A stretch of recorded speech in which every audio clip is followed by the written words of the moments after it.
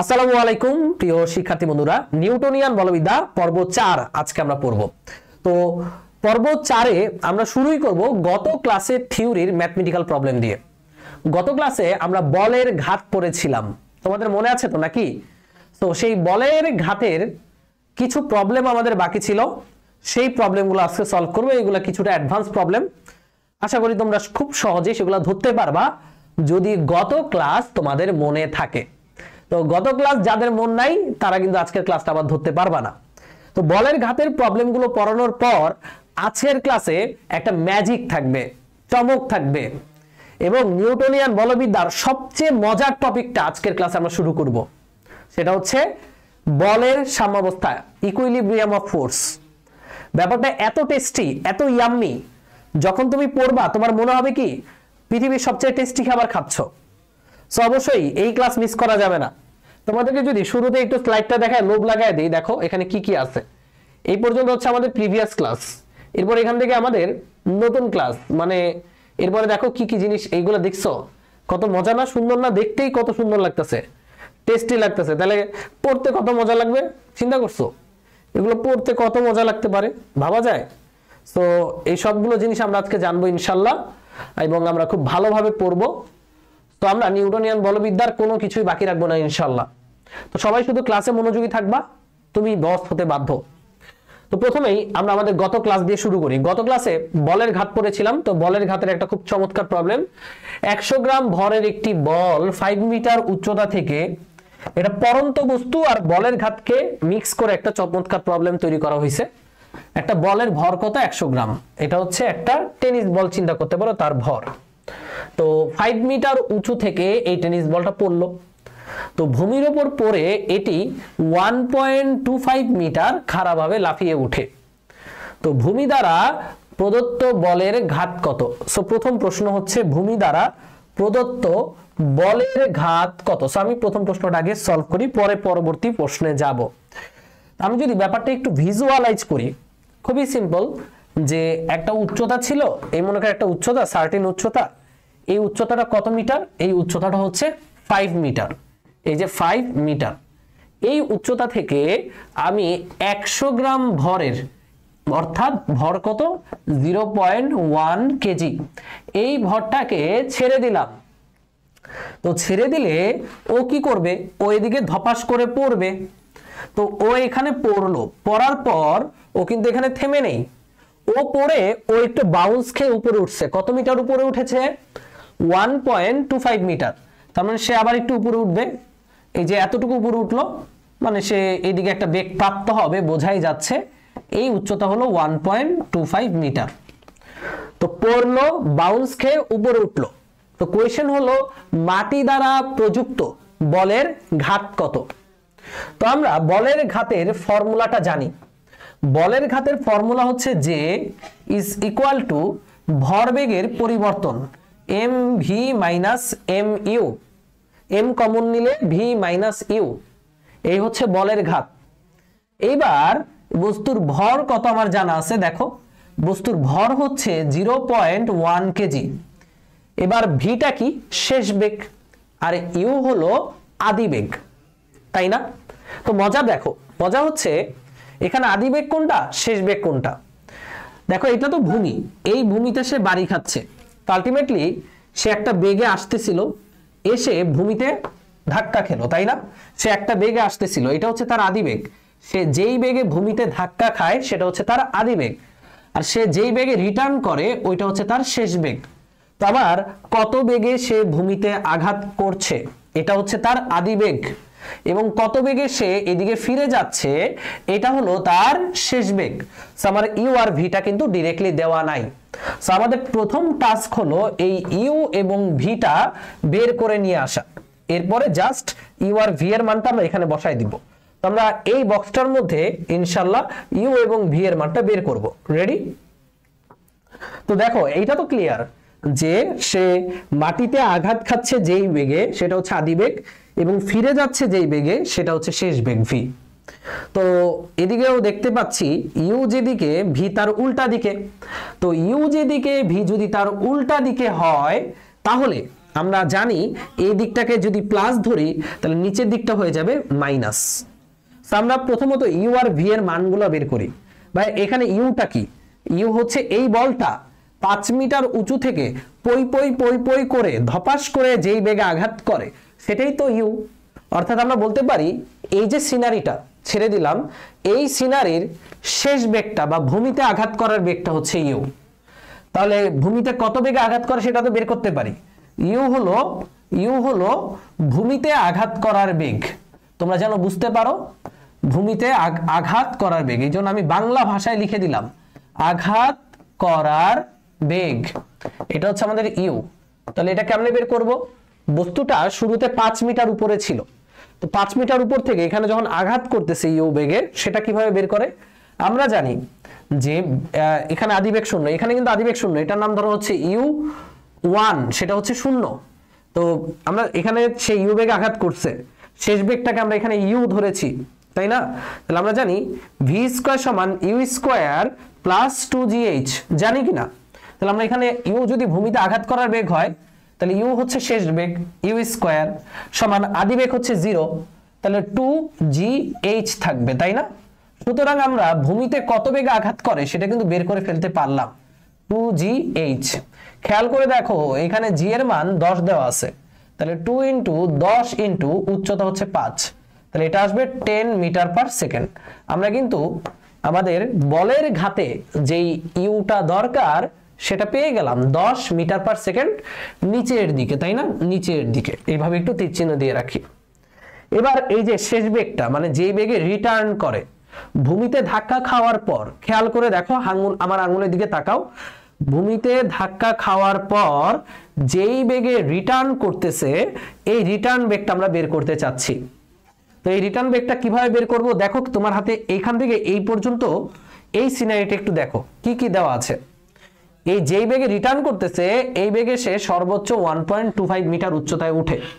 এখানে অভিকর্ষ স্তরণ জি তাহলে এই রিটার্ন বেগটাকে আমরা বের করতে পারব না। আমরা গতিবিদ্যায় পড়েছিলাম, একটা বস্তুর সর্বোচ্চ উচ্চতা যদি one point two five metre উঠে, তাহলে নিক্ষেপণ বেগ, এখানে ভিটা তো নিক্ষেপণ বেগ। নিক্ষেপণ বেগ কেমনে বের করে? মনে আছে? এখানে এই যে ভি ভি কিন্তু নিক্ষেপণ বেগ, এই যে এভাবে লিখে দিলাম, ভি কিন্তু কেমন বেগ? নিক্ষেপণ বেগ নিক্ষেপণ বেগ। মূলত এটা ভূমিতে ধাক্কা খাওয়ার কারণে সে প্রাপ্ত হয়েছে। তাই নিক্ষেপণ বেগ দিয়ে সে কত উচ্চতায় উঠে? উচ্চতা কত? কত উচ্চতায় উঠে ভাইয়া? উচ্চতা হচ্ছে one point two five metre তাই না? এই বেগ দিয়ে সে সর্বোচ্চ এই উচ্চতায় উঠে। তো আমরা জানি, আমরা আমরা গতিবিদ্যায় পড়েছি, এই কারণে ডিরেক্টলি লিখতেছি যে সর্বোচ্চ উচ্চতা ইউ এইচ সমান নিক্ষেপণ বেগের স্কোয়ার বাই টু জি তোমাদের মনে আছে কি? ওই যে নাইন টেনেও পড়ছিলা যে সর্বোচ্চ কত উচ্চতা উঠবে নিক্ষেপ করলে? H equal U square by two G আর এখানে জাস্ট ইউ এর জায়গায় ভি বসছে, আর কিছুই না, আর কিছুই না। এবার বলো, এই ভি এর মানটা কত হবে? এখানেও ভি এর মান আসবে root over of two G H তো একটু খেয়াল করে দেখবা টু জি এর মান দশ আর এইচ এর মান হচ্ছে ওয়ান পয়েন্ট টু ফাইভ তাহলে one point two five into two কত হয়? টু পয়েন্ট ফাইভ তাহলে অ্যাকচুয়ালি এটা ক্যালকুলেট করলে আসব five five metre per second কোন দিকে ভাইয়া এটা? উপরের দিকে। তো আমরা ইউ এবং ভিটা বের করে ফেললাম। এখন এই যে ইউ এবং ভিটা বের হলো, খেয়াল করো, এই যে ইউ বের হলো, তারপরে এই যে আমাদের ভি বের হলো উপরের দিকে, আমরা জাস্ট ইউ এবং ভি এর মানটা যদি এখানে বসায় দেই, তাহলেই তো বলের খাত পেয়ে যাব, তাই না? তাহলে বলের খাতটা পাওয়ার জন্য এখন কিন্তু এখানে ভুল করা যাবে না। এখানে অনেকে ভুল করে ফেলতে পারো, তাই সতর্ক। এম এর মান হচ্ছে জিরো পয়েন্ট ওয়ান কেজি। আমাদের বেগ শেষ বেগটা হচ্ছে ফাইভ শেষ বেগটা হচ্ছে ফাইভ এটা কিসের ফাইভ এটা কিসের ফাইভ প্লাস ফাইভ না মাইনাস ফাইভ এই ফাইভটা উপরের দিকে, আর উপরের দিকে আমার মনের খুশি আমি প্লাস ধরেছি। তাহলে এটা প্লাসের ফাইভ হবে। তারপর মাইনাস ইউ কত? দশ। এখন এটা তো পরিবর্তনের মাইনাস এবার ইউ কত? দশ। কোন দিকে? নিচের দিকে। নিচের দিকটা আমি মাইনাস ধরেছি। তাই এটা দিতে হবে মাইনাস দশ। আমরা সেকেন্ড ব্র্যাকেটে আটকায় ফেলি জিনিসটাকে। মাইনাসে মাইনাসে প্লাস দশ আর পাঁচ পনেরো, পনেরোর সাথে পয়েন্ট ওয়ান যদি গুণ দিই, তাহলে এখানে পাবো one point five newton second and this is our answer এটাই হচ্ছে আমাদের অ্যান্সার শেষ। তাহলে হচ্ছে বলের ঘাত, মাটি দ্বারা প্রদত্ত বলের ঘাত। অনেকে ভাবতে পারো, ভাইয়া, আমি যদি উল্টাটা করি, তাহলে অ্যান্সার তো মাইনাস আসবে। কোনো সমস্যা নাই। এটা গত ক্লাসেও বলেছি। তারপরে হোয়াটসঅ্যাপ গ্রুপে একজন লিখছো, ভাইয়া, আপনারটা প্লাস আসছে, আমারটা মাইনাস এই বল বলদামি কথাবার্তা তো মানে হয় না। আমি বলছি, বলের ঘাটটা প্লাস আসুক মাইনাস আসুক, কোনো সমস্যা নাই। কারণ তুমি ওই দিকটাকে মাইনাস ধরলে, নিচের দিক প্লাস ধরলে এটা ওয়ান পয়েন্ট ফাইভই আসতো জাস্ট মাইনাসের ওয়ান পয়েন্ট ফাইভ আসতো। কোনো সমস্যা নেই। অ্যান্সার একটা বের করলেই হবে। মানে অ্যান্সার ওয়ান পয়েন্ট ফাইভ আসলেই হোক। হোক সেটা প্লাস হোক সেটা মাইনাস মাইনাস দ্বারা কি বোঝায়? যে মাইনাস দ্বারা বোঝাচ্ছে আচ্ছা দেখো, এটা প্লাস বোঝাচ্ছে মানে কি? প্লাস এই বলের ঘাত মানে কি? ভরবেগের পরিবর্তন না? তাহলে এটা প্লাস মানে বোঝাচ্ছে, ভরবেগের পরিবর্তনটা হয়েছে উপরের দিকে। এক্স্যাক্টলি বস্তু কি নিচের দিকে আছে? না, উপরের দিকে হচ্ছে। তাহলে ভরবেগের পরিবর্তনটা হচ্ছে উপরের দিকে, তাই এটা প্লাস তুমি যদি উপরের দিকে মাইনাস দিতা, এটা অ্যান্সারটা কি আসতো? মাইনাস আসতো। তখন কি বলতা? ভরবেগের পরিবর্তনটা হচ্ছে উপরের দিকে। সিম্পল হিসাব। সেই প্লাস মাইনাস নিয়ে কিছু আলাদা করে লেখার দরকারই নেই। ওকে? তুমি খালি এতটুকু বুঝলেই হবে। ডান তো এই হচ্ছে আমাদের প্রথম অঙ্ক, আশা করি সবাই বুঝেছ। এবার সেকেন্ড ওয়ান যদি ঘাত বলের পরিমাণ একশো পঞ্চাশ নিউটন হয়, তাহলে কত সময় ভূমির স্পর্শে ছিল? দেখো কোয়েশ্চেনটা খুব সুন্দর। যে কত সময় জুড়ে ভূমির স্পর্শে ছিল? ঘাত বলের পরিমাণ মানে বলের মানটা বলে দিছে এফ সমান ওয়ান নিউটন। তাই আমরা কিন্তু এটাও করে ফেলতে পারব, তাই না? আমাদের বলের মানটা কত? One fifty newton. তাহলে এবার দুই নম্বর অংশটুকু করছি। এই যে দুই নম্বর অংশটুকু, বল হলো একশো পঞ্চাশ নিউটন। এবার আমরা জানি যে বলের ঘাত যে সমান এফ টি সুতরাং টি সমান হচ্ছে জে ডিভাইডেড বাই এফ তাই না? কত সময়? স্পর্শে ছিল। এবার জে এর মান কত? ওয়ান পয়েন্ট ফাইভ আর এফ এর মান হচ্ছে একশো পঞ্চাশ। তাহলে ওয়ান পয়েন্ট ফাইভকে একশো পঞ্চাশ দ্বারা ভাগ করলেই আমরা অ্যান্সারটা পেয়ে যাব। এটা তোমরা ক্যালকুলেট করে আমাকে জানাই দিতে পারো। তো এই ধরনের অঙ্ক আসলে আমরা কি সবাই পারব কিনা? ওকে সো সবাই একটু বলো যে আমরা ক্লিয়ার কিনা। শিলা খানম বলেছ, ভাইয়া, গতিবিদ্যা করিনি, করতে পারব কিনা? হ্যাঁ পারবা। এটা তো একদম নাইন টেনের গতিবিদ্যার বেসিক দিয়ে করেছি। সো এখানে গতিবিদ্যার জন্য হিউজ বেসিকের দরকার নাই। পরন্ত বস্তু কত বেগে ভূমিতে আঘাত করে, আর নিক্ষিপ্ত বস্তু one point two five metre উচ্চতায় উঠলে কত বেগে নিক্ষিপ্ত হয়, সেগুলো তো নাইন টেনেই ছিল। Okay done so this is our answer clear next problem আমরা চলে যাই টাইম লস না করি। সো এই যে প্রবলেমটা এটা তোমরা করবা। এটা হচ্ছে তোমাদের এইচ ডাব্লিউ একদম সেম টু সেম প্রবলেম হ্যাঁ? এটা যদি তুমি না করো, তাহলে কিন্তু তুমি কোনো কিছুই পারবা না। আগেরটা যদি বোঝো, তাহলে অবশ্যই এই প্রবলেমটা তোমরা সলভ করবা। Same problem this is the same problem okay next আচ্ছা দেখো, এইবার মজা, দেখো, মজা শুরু। মজা হচ্ছে, এটা হলো বেগ বনাম সময়ের একটা লেখচিত্র। বেগ বনাম সময়। তো তোমরা নাইন টেনে পড়েছো, তোমার এই জন্য গতিবিদ্যা যে ইন্টারই পড়তে হবে তা না। দেখো, এটা দ্বারা বোঝাচ্ছে বেগ একই হারে বৃদ্ধি পাচ্ছে মানে সমতরণ। এখানে বোঝায় সমবেগ, আবার এটা বোঝায় সমতরণ। এটুকু তো আমরা বুঝি, নাকি? তো এই তিনটা রেখা কি নির্দেশ করতেছে? আমরা ক্লিয়ার এবার বলল যে একটি দুই কেজি ভরের বস্তুর বেগ বনাম সময়ের লেখচিত্র নিম্নরূপ। প্রথম দশ সেকেন্ড সময় বস্তুটির উপর প্রযুক্ত বলের ঘাত কত? তাহলে আমাকে টোটাল টাইম দিছে এগারো সেকেন্ড বাট আমার প্রশ্ন হলো প্রথম দশ সেকেন্ড সময়ে।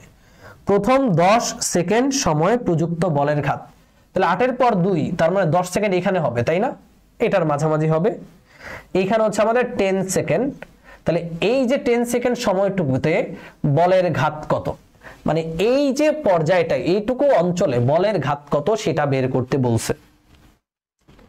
ওকে রেডি সো এবার বলের ঘাত আমি কীভাবে বের করতে পারি? খেয়াল করো। বলের ঘাত বের করব কীভাবে? চিন্তা করি, চলো। এখানে টোটাল কয়টা পার্ট আছে? কয়টা পার্ট আছে? আমি যদি পার্ট বাই পার্ট চিন্তা করি, এই মনে করো একটা পার্ট এটা একটা পার্ট তারপরে মনে করো এই আরেকটা পার্ট চতুর্ভুজের মতো দেখতে, এবং এই আরেকটা গোলাপি পার্ট তো মোটামুটি তিনটা পার্ট আছে। এই তিনটা পার্টে আমি যদি আলাদা আলাদা ভাবে বলের ঘাত বের করে যোগ করে দেই সামেশন করে দেই, তাহলেই তো আমাদের এই দশ সেকেন্ডে সর্বমোট বলের ঘাত চলে আসবে। কথা কি ক্লিয়ার ওকে সো আমি এই তিনটা পার্টে আলাদা আলাদা ভাবে বলের ঘাত হিসাব করব। একদম কনভেনশনাল রেডি তাহলে প্রথম পার্ট হচ্ছে জিরো থেকে ফোর সেকেন্ড তাহলে এই যে, শুরু, ভাইয়া, আমরা সবাই রেডি ইয়েস তা প্রথম পার্টটুকু হচ্ছে জিরো থেকে ফোর সেকেন্ড লিখো। প্রথম পার্টে প্রথম অংশ প্রথম অংশ আমি একটু লিখে দিই। Zero second to four second সময়ে আমরা বলের ঘাতটা হিসাব করতে চাচ্ছি। ওকে? তো জিরো থেকে ফোর সেকেন্ড সময় বলের ঘাত বলের ঘাত যে মানে হচ্ছে ভরবেগের পরিবর্তন মানে M V minus M U. M হচ্ছে কত কেজি? এম হচ্ছে দুই কেজি। এখন জিরো থেকে ফোর সেকেন্ড সময়ে শেষ বেগটা কত? কমেন্টে একটু বলো তো দেখি। এই যে কানার বাই অন্ধ, হাইকোর্টের সামনে ভিক্ষা করে হয়ও কিন্তু বলতে পারবে। জিরো থেকে ফোর সেকেন্ডে এই যে এই রেখায় শেষ বেগটা কত? কমেন্টে দ্রুত জানাও। এত লেট করলে তো চলবে না। এই রেখায় শেষ বেগটা কত? জিরো থেকে ফোর সেকেন্ডের এই রেখাটায় শেষ বেগ হচ্ছে আট।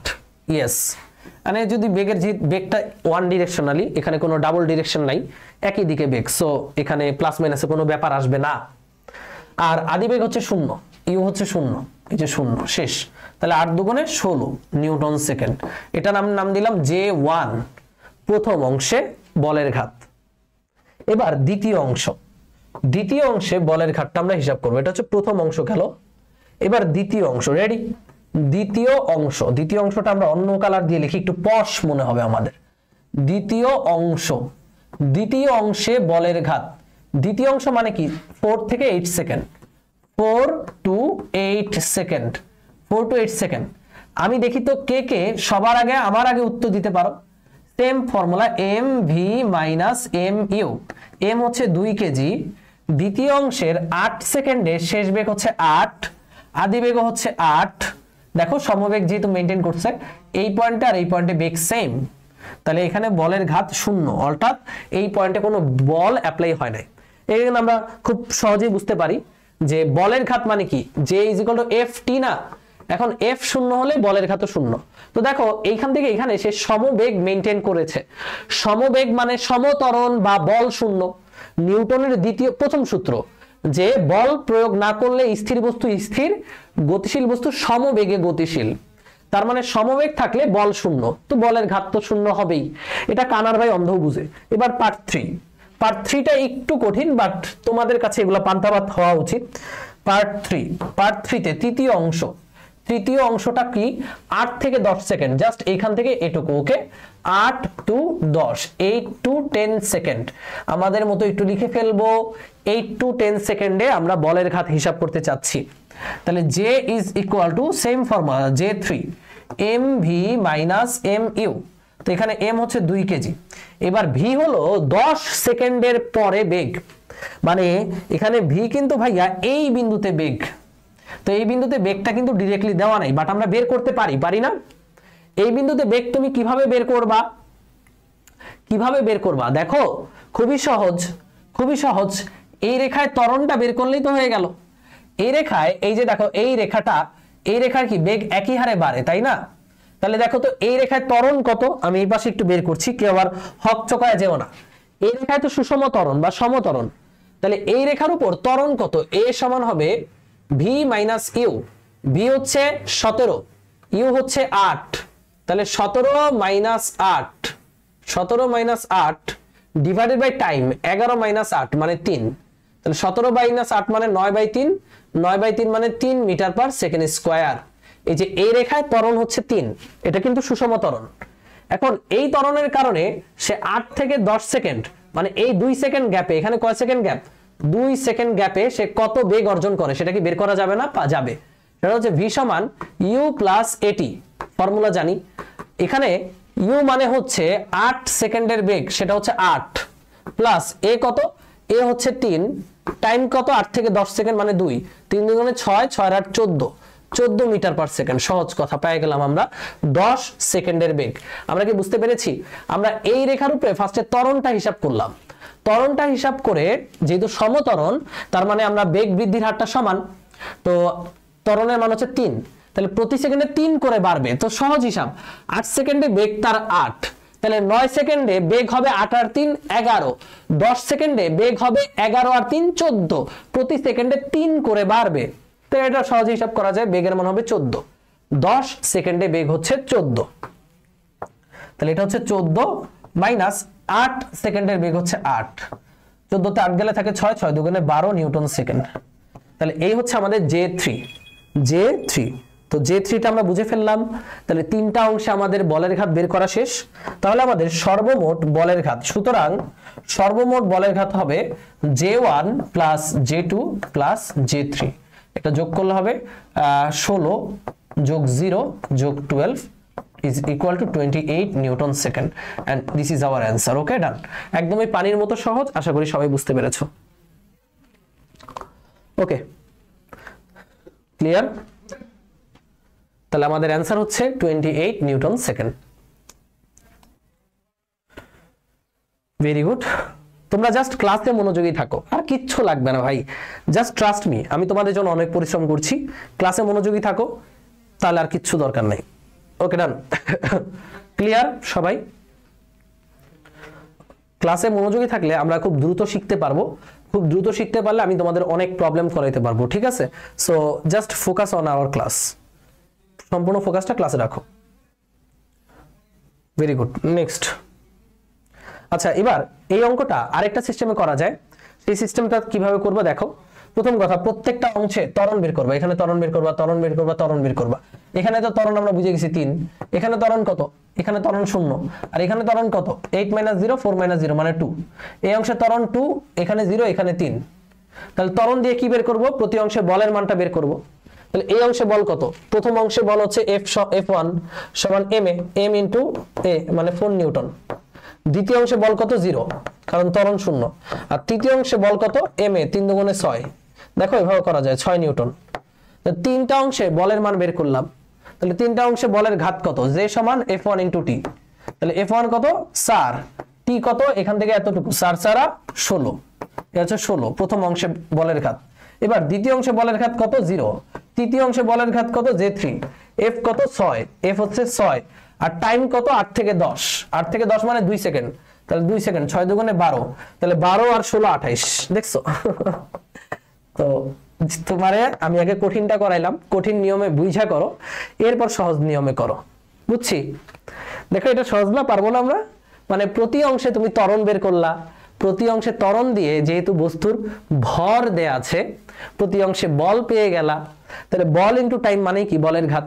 তাহলে এই অংশে টাইম হচ্ছে ফোর সেকেন্ড এই অংশে টাইম হচ্ছে মানে এখানে বল শূন্য, তো বলের ঘাত শূন্য, আর এই অংশে টাইম হচ্ছে দুই সেকেন্ড তো করলেই হয়ে যাবে। টোয়েন্টি এইট আসবে। ডান সো দুইটাই পারা উচিত। দুই দুইভাবেই পারা উচিত। যেভাবে তোমার মস্তিষ্ক নিউরন অ্যাক্টিভ হবে, ওইভাবে পারলেই হবে। দেখছ, এটা দুই মিনিটে করে ফেলছি। নেক্সট আচ্ছা সো এটা আইআইটিতে আসছিল উনিশশো সালে।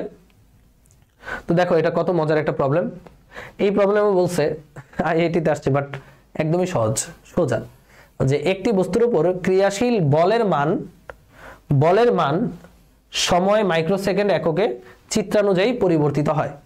অর্থাৎ এই যে গ্রাফটা, এই গ্রাফটা হচ্ছে বল ভার্সেস সময়ের একটা গ্রাফ। তো এখানে কয়েকটা অংশ আছে। এটা হচ্ছে এ, বি, সি, ডি, চারটা অংশ। তো A, B B, C C, D সরলরেখা অংশ। ফোর মাইক্রোসেকেন্ড থেকে ষোলো মাইক্রোসেকেন্ডের মধ্যে ক্রিয়াশীল বলের ঘাত কত? দেখো, ফোর থেকে ষোলো। এই যে এই যে ফোর, এই যে ফোর ফোর থেকে এই যে ষোলো পর্যন্ত, এই সময়টুকুর মধ্যে ক্রিয়াশীল বলের ঘাত কত? তো এখানে তুমি আগে দেখো কয়টা পার্টিশন আছে। এখানে পার্টিশন আছে মোটামুটি দুইটা, এই একটা আর ওই পাশে একটা। আমি যদি একটু আইডেন্টিফাই করি, এই হচ্ছে একটা পার্টিশন আর এই একটা আর এটা পার্ট এই দুই পার্ট মিলিয়ে আমরা বলের ঘাত হিসাব করব। তো ভাই, এটা কেমন গ্রাফ এটা গ্রাফটা হচ্ছে এফটি গ্রাফ সবাই একটু মনে রাখবা এফটি গ্রাফ তোমাদের কি মনে আছে গত ক্লাসে শিখছিলাম আমরা যে বলের ঘাত J is equal to integration of F dt এটা দ্বারা বোঝায় যে এফ ভার্সেস টি গ্রাফের যে এরিয়া সেইটা ডিরেক্টলি বলের ঘাতকে মিন করে।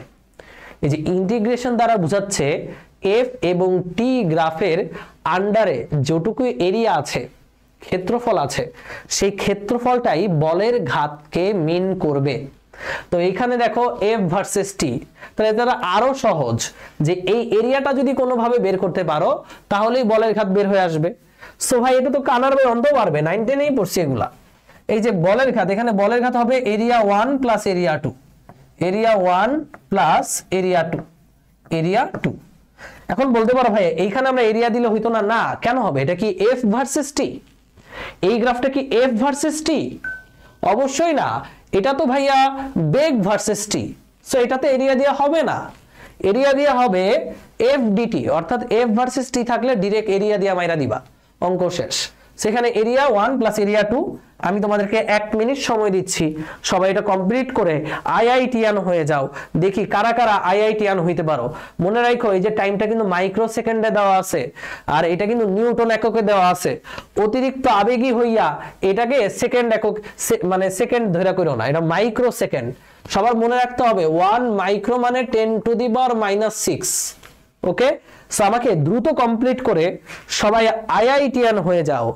আইআইটি খড়গপুর, খড়গপুরিয়ান। দেখি, আমাকে দ্রুত সলভ করে দাও। চার থেকে ষোলোর মধ্যে এরিয়াটা বের করতে পারলেই কাজ শেষ। চার থেকে ষোলোর মধ্যে এরিয়া বের করতে পারলেই ক্যাল্লাফ হতে আর কিচ্ছু লাগবে না। ফোর টু সিক্সটিন এরিয়া আচ্ছা তো তোমরা লেট করছ, আমি করি। এটা একটা ট্রাপিজিয়াম দেখা যাচ্ছে। ট্রাপিজিয়াম ক্ষেত্রের ক্ষেত্রফল হাফ ইন্টু সমান্তরাল বাহুদয়ের যোগফল। দেখো, এই বাহুটা আর এই বাহুটা সমান্তরাল। এই বাহুটা আর এই বাহুটা সমান্তরাল। এই দুইটা বাহুর যোগফল দুইশো যোগ আষ্টশো এখানে হবে two hundred plus eight hundred into তাদের মধ্যবর্তী দূরত্ব, ফোর থেকে সিক্স মানে two, micro, two into ten to the power minus six. এটা হলো area one plus area two. Area two হচ্ছে একটা ত্রিভুজ। দেখাই যাচ্ছে এই যে ত্রিভুজ। এই যে ত্রিভুজের ক্ষেত্রফল হলো হাফ ইন্টু ভূমি ইন্টু উচ্চতা। হাফ ইন্টু ভূমি হচ্ছে ছয় থেকে ষোলো। অর্থাৎ দশ। মাইক্রোতে আছে তার টেন ইনভার সিক্স। এইগুলো ভূমি। আর উচ্চতা হচ্ছে এইট হান্ড্রেড। উচ্চতা হচ্ছে এইট হান্ড্রেড নিউটন। সো এই যে মানগুলো বসালাম, ক্যালকুলেট করলেই তুমি পেয়ে যাবে এই অঙ্কে বলের ঘাতের পরিমাণটা। Okay so this is our answer বলের ঘাত। সবাই আমরা পারব ক্লিয়ার কমেন্ট একটু জানাও দ্রুত। আর না বাচ্চারা ক্লিয়ার আমরা?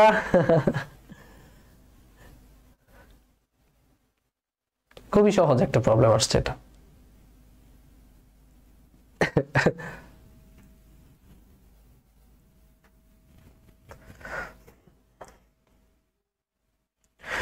All clear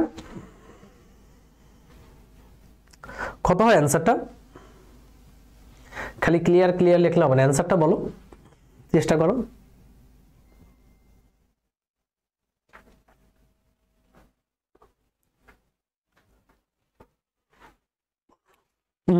Okay so next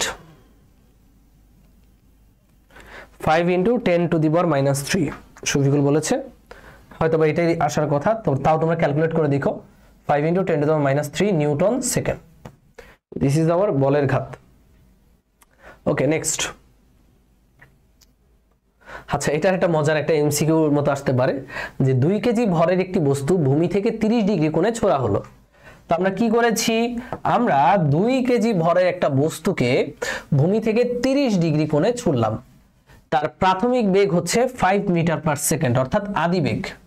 তো প্রাসের উত্থিতিকালে, উত্থিতিকাল মানে উড্ডয়নকাল। প্রাসের উড্ডয়নকালে অভিকর্ষ বল দ্বারা প্রযুক্ত বলের ঘাত কত? অভিকর্ষ বল দ্বারা প্রযুক্ত বলের ঘাত কত? এই মনে করো ভূমি। ওকে, এই হচ্ছে ভূমি। তো আমরা একটা বস্তুকে এখান থেকে নিক্ষেপ করব। প্রাস, তাই না? প্রাস। প্রাসকে নিক্ষেপ করব এই যেভাবে। তো কত কোণে নিক্ষেপ করেছ? থার্টি ডিগ্রি কোণে। কত বেগে নিক্ষেপ করেছ ভাইয়া? ইউ সমান ফাইভ মিটার পার সেকেন্ড তাই না? তো বলেছে প্রাসের উত্থিতিকালে অভিকর্ষ বল দ্বারা কাজ। ভাইয়া এই যে বস্তুটা, এই বস্তুটা যেখানেই থাকুক না কেন, এখানে এখানে এখানে এখানে, যে কোনো বিন্দুতেই থাকুক না কেন, তার উপর কিন্তু খাড়া নিচের দিকে অভিকর্ষ বল কাজ করে। এই যে খাড়া নিচের দিকে এমজি এই পয়েন্টেও এমজি এই পয়েন্টেও এমজি এই পয়েন্টেও এই পয়েন্টেও। তাহলে যে কোনো বিন্দুতেই, গতিপথের যে কোনো বিন্দুতেই তার উপর খাড়া নিচের দিকে এমজি পরিমাণ বল কাজ করে। তো আমাদেরকে কিন্তু এই অভিকর্ষ বল দ্বারাই প্রযুক্ত বলের ঘাত বের করতে বলছে। প্রযুক্ত ঘাত বের করতে বলছে, তাই না? সো আমরা এখানে বুঝে ফেললাম, এখানে এফ হচ্ছে এমজি তাহলে এম কত? এম হচ্ছে আমাদের দুই কেজি আর জি এর মান বলেই দিছে দশ। তাহলে দশ দুগুণে বিশ নিউটন। একটা জিনিস আমরা পেয়ে গেলাম এফ বলের ঘাত বের করতে হলে আমি যদি এই ফর্মুলাটা দেখি J is equal to F T এরপর এই এফ কে টি এর সাথে গুণ করি তাহলে তো অঙ্ক শেষ। তো এবার দেখো একটা ইম্পর্টেন্ট জিনিস টাইমটা থেকে পাবো? এখানে প্রশ্নেই বলে দিছে, উত্থিতিকালে, অভিকর্ষ বল দ্বারা প্রযুক্ত বলের ঘাত, উত্থিতিকাল মানে বিচরণ কাল সময়ে বলের ঘাত কত? তা আমরা জানি। আমরা পড়েছিলাম, যাদের মন নাই তারা দেখো বিচরণ কাল টি ইজ ইকাল টু ছিল two U sine theta divided by G মনে আছে কি? এটা ছিল বিচরণ কাল তাহলে এটা হচ্ছে টাইম এটা হচ্ছে বল। তাহলে বলের ঘাত কত? তাহলে বলের ঘাত হবে, এই যে গোলাপি দিয়ে লিখতেছি বলের ঘাত যে হচ্ছে F T F into T F হচ্ছে আমাদের টোয়েন্টি নিউটন, আর টি হচ্ছে এখানে ক্যাপিটাল টি অ্যাকচুয়ালি সেটা হলো two U sine theta divided by G এবার মানগুলো সব দিয়ে দিছে টোয়েন্টি ইন্টু টু ইউ কত? ফাইভ সাইন কত ডিগ্রি থার্টি ডিগ্রি না thirty degree divided by G হচ্ছে টেন শেষ, দশ দশ কাটা সাইন থার্টি ডিগ্রি মান হচ্ছে হাফ তাহলে এটা হবে টেন অ্যান্সার হবে টেন নিউটন সেকেন্ড। মুখে মুখে ক্যালকুলেট করা যাচ্ছে এই অঙ্কটা। তাহলে দিস ইজ আওয়ার অ্যান্সার বলের ঘাত, উত্থিতিকালে বলের ঘাত, আমরা পারব এটা, বুঝছি? মানে এই যে উড্ডয়নকাল তার উপর অভিকর্ষ বল দ্বারা ক্রিয়াশীল বলের ঘাত মানে এফ ইন্টু টি অভিকর্ষ বল হচ্ছে এমজি ইন্টু টি হচ্ছে উত্থিতিকাল, অর্থাৎ বিচরণকাল তাহলে আমাদের অঙ্ক শেষ হচ্ছে দশ নিউটন সেকেন্ড। পরবর্তী, এটা খুবই সহজ অঙ্ক ছিল। সবাই একটু তুলে নাও। ভেরি গুড নেক্সট এটা তোমরা করবা, এটা আমাদের গতিবিদ্যা একটা প্রবলেম এখানে চলে আসছে, এটা তোমাদের এইচ ডাব্লিউ রইল। আমি একটু স্ক্রিনশট নাও, তোলার সময় যেহেতু নাই, কারণ আমাদের আরও অনেক পড়াশোনা করতে হবে। একটু এটা স্ক্রিনশট নিয়ে নাও।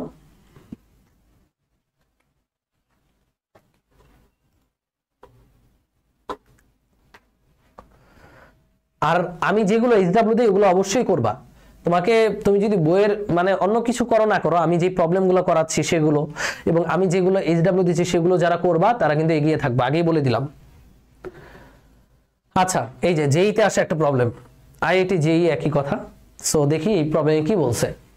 কত মজার একটা প্রবলেম দেখো। খুবই টেস্টি এক, একই ভরের, এটা হবে একই ভরের একই ভরের, একই ভর। একই ভরের দুটি বস্তু পাশাপাশি স্থির অবস্থায় আছে। তাহলে আমরা ধরে নিচ্ছি এই হচ্ছে একটা বস্তু এবং এই হচ্ছে আরেকটা বস্তু। পাশাপাশি একই ভরের দুইটা বস্তু স্থির অবস্থায় আছে হ্যাঁ? তো এই বস্তুর ভর হচ্ছে এম এটারও ভর কত? এম তো প্রথম বস্তুটিকে এফ সমবলের প্রভাবে যখন চলতে শুরু করল, তাহলে প্রথম বস্তুতে আমি কত বল প্রয়োগ করেছি? এফ সমবল, ধ্রুব বল প্রয়োগ করেছি। ঠিক সেই মুহূর্তে দ্বিতীয় বস্তুর উপর একই দিকে ক্ষণস্থায়ী ঘাত বল প্রয়োগ করা হলো, যার ঘাত হচ্ছে চার, আই। যার ঘাত কত? আই। তার মানে আমি এখানে একটা বলের ঘাত অ্যাপ্লাই করেছি, যার ভ্যালু হচ্ছে আই। অর্থাৎ এখানে জে এর ভ্যালু বলে দিছে আই। এটা দ্বিতীয় বস্তুর উপর অ্যাপ্লাই করছি। তো ধাম করে একটা বল অ্যাপ্লাই করছি। এটাকেই ঘাত বল বলে। এই ঘাত বলের কারণে সে বলের ঘাত প্রাপ্ত হয়েছে কত? আই। তো কত সময় পর বস্তু দুটি আবার পাশাপাশি আসবে? দেখো, ও তো চলা শুরু করল। শুরু আস্তে আস্তে যাচ্ছে যাচ্ছে যাচ্ছে। ওর উপর কিন্তু এই বলটা কাজ করতেছে। বল কাজ করা মানে এই প্রথম বস্তুতে কিন্তু ত্বরণ কাজ করছে। আর দ্বিতীয় বস্তুতে ধাম করে একটা বল অ্যাপ্লাই হয়ে নাই হয়ে গেছে। কারণ বলটা ঘাত বল, বলে দিছে ঘাত বল, ক্ষণস্থায়ী ঘাত বল। দেখো, বলটা হচ্ছে ক্ষণস্থায়ী ঘাত বল। তাইলে এই দ্বিতীয় বস্তুটা চিন্তা করো, জিনিসটা অনেকটা এরকম যে একটা বস্তু সমতরণে যাচ্ছে, আরেকটাকে তুমি ধাম করে বাড়ি মারলা। তো এই ঘাত বলের কারণে এর উপর বলের ঘাত হচ্ছে আই। তো এটার উপর ক্ষণস্থায়ী বল অ্যাপ্লাই হয়ে বলটা কিন্তু শেষ হয়ে যায়। আর এটার মধ্যে কিন্তু বলটা অ্যাপ্লাই হতেই আছে। তো আমি ধরে নিচ্ছি যে টি সময় পর বস্তু দুইটা আবার পাশাপাশি আসবে। মনে করি এই দুইটা পাশাপাশি আসলো কত সময় পর? এখানে টি সময় পর। আমাদের তো এই প্রশ্নটাই চাইছে যে কত সময় পর পাশাপাশি আসবে। আমি ধরে নিচ্ছি টি সময় পর। তো টি সময় ওরা দুজন তো একই জায়গায় ছিল। ও যদি এস দূরত্ব যায়, ও কত দূরত্ব যাবে? এস দূরত্বই তো যাবে। দুইটা বস্তু যদি টি সময় পর পাশাপাশি আসতে চায়, তাহলে ও যত দূর দূরত্ব যাবে, ও তো ঠিক তত দূর দূরত্বই যেতে হবে ওই একই সময়ে। কিন্তু ওর এই ডিস্টেন্সটা যাওয়ার অ্যাপ্রোচ হচ্ছে সমতরণ। সমতরণে যাবে, তাই না? আর ও যাবে কেমন? ও তো সমতরণে যাবে না। কারণ ওকে তুমি বলটা অ্যাপ্লাই করে, বলটা সরায় ফেলছো।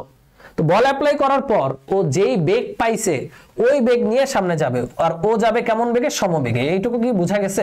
সেটা বলো। এটুকু বুঝতে পারলে অঙ্ক শেষ। আমি আবার বলি, দুইটা বস্তু পাশাপাশি আছে। একটাতে তুমি কনস্ট্যান্ট বল প্রয়োগ করে যাচ্ছ যাচ্ছ মানে ঠেলতে ঠেলতে নিয়ে যাচ্ছ।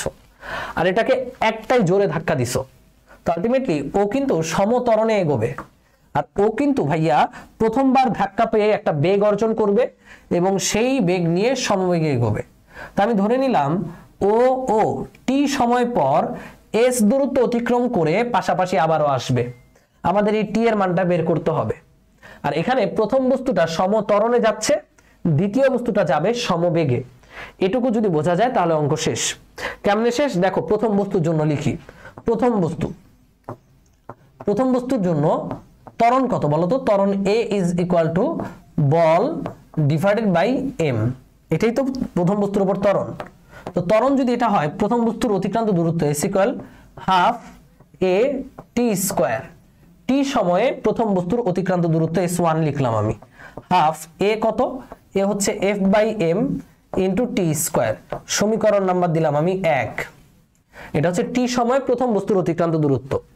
ঠিক একইভাবে আমি যদি টি সময় দ্বিতীয় বস্তুর অতিক্রান্ত দূরত্ব বের করতে চাই টি সময় দ্বিতীয় বস্তুর অতিক্রান্ত, দ্বিতীয় দ্বিতীয় বস্তু দ্বিতীয় বস্তু। বা দ্বিতীয় বস্তুর উপর তুমি ঘাত বল প্রয়োগ করেছ, যার বলের ঘাত হলো আই। তা আমরা জানি বলের ঘাত আই সমান হবে ভরবেগের পরিবর্তন এম ভি মাইনাস ইউ। শুরুতে যেহেতু স্থির ছিল, আদিবেগ শূন্য, তাহলে এটা হবে এম ভি সুতরাং আমাদের বেগের মানটা কত পাবো? বেগের মান হবে আই ডিভাইডেড বাই এম। এটা হচ্ছে দ্বিতীয় বস্তুর প্রাপ্ত বেগ। এরপর কি দ্বিতীয় বস্তুতে আর কোনো বল অ্যাপ্লাই হয়? না। তাহলে এই বেগ নিয়েই দ্বিতীয় বস্তু সমবেগে চলতে থাকবে। সমবেগে চলতে থাকবে। বলতে পারো ভাই, বেগ কমবে না। যদি এখানে ঘর্ষণ থাকতো তাহলে কমতো। বাট প্রশ্নে তো কোথাও ঘর্ষণের কথা বলে নাই। তাহলে এই বেগ সমবেগে চলতে থাকবে। তো সমবেগে সেটি সময়ে ধরো এস টু দূরত্ব যাবে।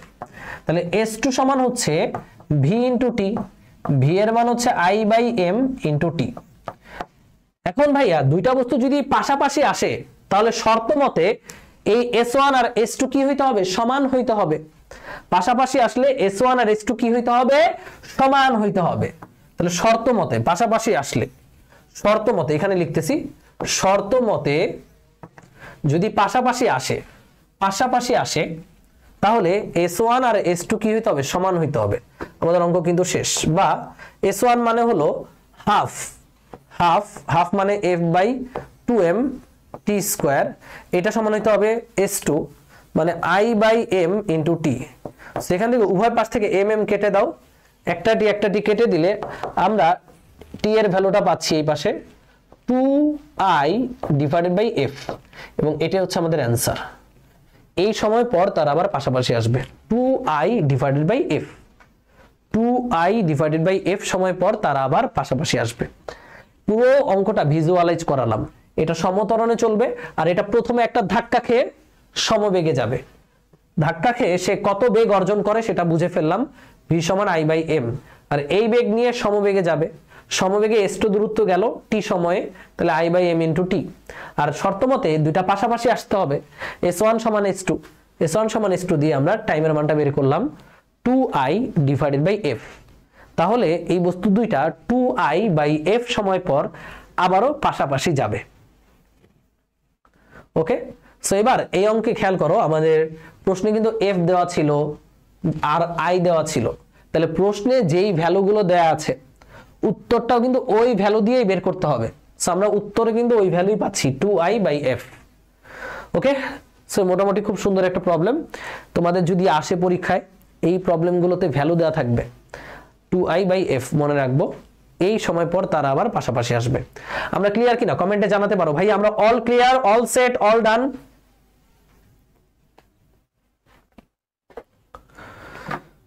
রে ভাই, বলের ঘাত করতে করতে তো এক ঘণ্টা লেগে গেল। একটু দ্রুত রেসপন্স করলে ভালো হয়। নেক্সট এই যে দেখো, এটা একটা আরেকটা চমৎকার প্রবলেম সো বুঝতে হবে, এই যে গ্রাফটা দেওয়া আছে, এই গ্রাফটা কিন্তু স্মরণ ভার্সেস সময়। তো তুমি যদি ধুম করে এটার এরিয়া বের করে বলো বলের ঘাত, তাহলে তুমি অ্যাকচুয়ালি কানার ভাই অন্ধ হ্যাঁ? সো কানার ভাই অন্ধ হওয়া যাবে না। যদি এরিয়া বের করতাম, তাহলে এটা এফ টি হইতে হইতো। বাট এটা কিন্তু এক্স টি এক্স টি এটা হচ্ছে এক্স ভার্সেস টি গ্রাফ সে এরিয়া বের করলে কাজ হবে না। তো কি বলছে? চলো একটু দেখে নিই। চিত্রে দুই কেজি, ভর কিন্তু বলে দিছে বাবারা, ভর বলে দিছে। দুই কেজি ভরের একটা বস্তুর স্মরণ বনাম, সময় লেখচিত্র দেওয়া আছে। দুই সেকেন্ড থেকে ছয় সেকেন্ড ব্যবধানে ক্রিয়ারত বলের ঘাত হিসাব করো। কত থেকে কত? দুই থেকে ছয়। এই যে এই যে দুই, এই যে ছয়। তো এই অংশে ক্রিয়ারত বলের ঘাত। তো এখানে আমরা দুইটা পার্টিশন পাচ্ছি। পার্টিশন দুইটা কি কি? খেয়াল করো। এইখানে একটা পার্টিশন এই পার্টিশন দুই থেকে চার। আবার দুই থেকে ছয় আরেকটা পার্টিশন চার থেকে ছয়। চার থেকে ছয় আরেকটা পার্টিশন তো এটা কেমন গ্রাফ এটা কিন্তু এক্স ভার্সেস টি মানে স্মরণ ভার্সেস সময়ের গ্রাফ তো খেয়াল করো, তোমাদের মনে আছে কিনা? এইটাকে বলা হয় সমবেগ। এসটিতে এই যে মনে আছে কিনা জানি না নাইনটিনেও পড়ছো। এসটি এটা মানে হচ্ছে সমবেগ। এটা মানে সমবেগ, এটাও মানে কি? সমবেগ। তাই না? সমবেগ। তো সরলরেখা মানেই সমবেগ এসটিতে তো। ভাই, সে এখানে একটা বেগ মানে এখানে দুই থেকে চারে কিন্তু বলের ঘাতের কোনো চেঞ্জ নেই। কিন্তু দুই থেকে ছয়ে বলের ঘাতে একটা চেঞ্জ আছে। দুই সেকেন্ডে যা বেগ, চার সেকেন্ডে তো ওই একই বেগই, নাকি? তো আমি যদি বলের ঘাতের ফর্মুলা লিখি, যে যে সমান হবে এম ভি মাইনাস ইউ তাহলে দুই থেকে চার সেকেন্ড, দুই থেকে ছয় সেকেন্ডে বলের ঘাত হিসাব করো। তাহলে এম কত? দুই কেজি। এবার এই ভিটা হচ্ছে ছয় সেকেন্ডের বেগ। এখানে এই যে ভি, শেষ বেগটা, এই শেষ বেগটা হচ্ছে মানে ভি হচ্ছে ছয় সেকেন্ডের বেগ। আর ইউটা কি? দুই সেকেন্ডের বেগ। ইউ হচ্ছে দুই সেকেন্ডের বেগ। তো এই বেগগুলো বের করতে হবে। তো ভাইয়া, দুই সেকেন্ডের বেগটা কত? এই যে এই রেখায় বেগ তো সমবেগ। সমবেগটা বের করো। দুই সেকেন্ডের বেগটা কত? বলো তো দেখি। এখানে বেগ হচ্ছে ভি দুই সেকেন্ডের বেগটাকে আমরা ইউ লিখতেছি। ইউ সমান হচ্ছে স্মরণের পরিবর্তন ফোর মাইনাস জিরো, এই যে ফোর মাইনাস জিরো, বেগের পরিবর্তন ফোর মাইনাস, সময়ের পরিবর্তন ফোর মাইনাস জিরো মানে এক। এটা হচ্ছে আমাদের ইউ। মানে দুই সেকেন্ডের বেগ হচ্ছে, পায়ে গেলাম ওয়ান মিটার পার সেকেন্ড এবার, ছয় সেকেন্ডের বেগ। ছয় সেকেন্ডের বেগ মানে ভাইয়া এই রেখায় বেগ। এই যে এই রেখাটা আছে না, এই রেখার বেগ। এই রেখার বেগ কেমনে বের করবা? বলতে পারো ভাইয়া, কিছুই তো দেওয়া নাই। এই রেখা এখানে তো কিচ্ছু দেওয়া নাই, কেমনে বের করব? এই দা দেখো, একটা কোণ দিয়ে দিছে সিক্সটি ডিগ্রি গতিবিদ্যায় পড়িয়েছিলাম গতিবিদ্যায় পড়িয়েছিলাম। এসটি গ্রাফের ঢাল হচ্ছে বেগ। এই যে ঢাল ঢাল মানে এই যে অ্যাঙ্গেলটা, এই অ্যাঙ্গেলের টেন। টেন থিটা মানেই হচ্ছে ঢাল, আর ঢাল মানেই হচ্ছে স্মরণের হার, অর্থাৎ ডিএস বাই ডিটি মনে আছে তো? এটাই কি বেগ নির্দেশ করে? আমি আবারও বলছি এসটি গ্রাফের ঢাল কি বেগ? ভিটি গ্রাফের ঢাল কি ত্বরণ? আর এটি গ্রাফের ঢাল কি সেটা পড়ি নেই আমরা। এসটি গ্রাফের ঢাল হচ্ছে বেগ ভিটি গ্রাফের ঢাল হচ্ছে ত্বরণ। তো ভাই, ঢাল মানে যে অ্যাঙ্গেল আছে ওই অ্যাঙ্গেলের টেন থিটা শেষ। তাহলে এই যে রেখাটা, এই রেখায় বেগ কত? এটা তো এসটি গ্রাফ। এই রেখার বেগ হবে এই রেখার ঢাল। তাহলে এই রেখার ঢাল হচ্ছে ভি ভি মানে tan theta tan sixty tan sixty degree মান রুট থ্রি তাহলে বুঝে ফেললাম, এখানে আমার কিচ্ছু দরকার নাই। এটার ঢাল হচ্ছে রুট থ্রি তার মানে এটা বেগও কত? রুট থ্রি আই এটুকু বুঝেছ? একটু কুষ্টিয়ার ভাষায় বলি বুঝিছাও এই প্রথম অংশে তুমি নর্মাল হিসাব করে বেগ বের করলা এক। দুই সেকেন্ডেও এক, চার সেকেন্ডেও এক। ওকে তো এখানে কিন্তু দুইটা বর্ষণ করলে মানে এই অংশে এই অংশে একটা বলের খাত, এই অংশে আরেকটা বলের খাত। যোগ করলে হবে না। জাস্ট বুঝতে হবে যে এখানে একটা বেগ, এখানে একটা বেগ। তো বেগের পরিবর্তনই কি ভাইয়া? ভর বেগের পরিবর্তনই কি? বলের ঘাত তো এখান থেকে বেগটা চেঞ্জ হয়ে এখানে আসছে। তো এখানে বেগ ছিল এক। এক এক এক। আর এখানে বেগ হচ্ছে ঢাল। কারণ ঢাল দেওয়া আছে সিক্সটি ডিগ্রি দেওয়া আছে মানে ঢাল বুঝছি। ওকে ঢাল মানেই যে অ্যাঙ্গেলে আছে সেই অ্যাঙ্গেলের টেন তাহলে টেন সিক্সটি ঢালটাই হচ্ছে বেগ। তাহলে ঢাল হচ্ছে রুট থ্রি তাহলে আমাদের শেষ বেগ হচ্ছে ছয় সেকেন্ডের বেগ হচ্ছে রুট থ্রি আর দুই সেকেন্ডের বেগ হচ্ছে ওয়ান তাহলে মানগুলো বসায় দাও। রুট থ্রি মাইনাস ওয়ান আমাদের কাজ শেষ এটা হচ্ছে আমাদের answer okay done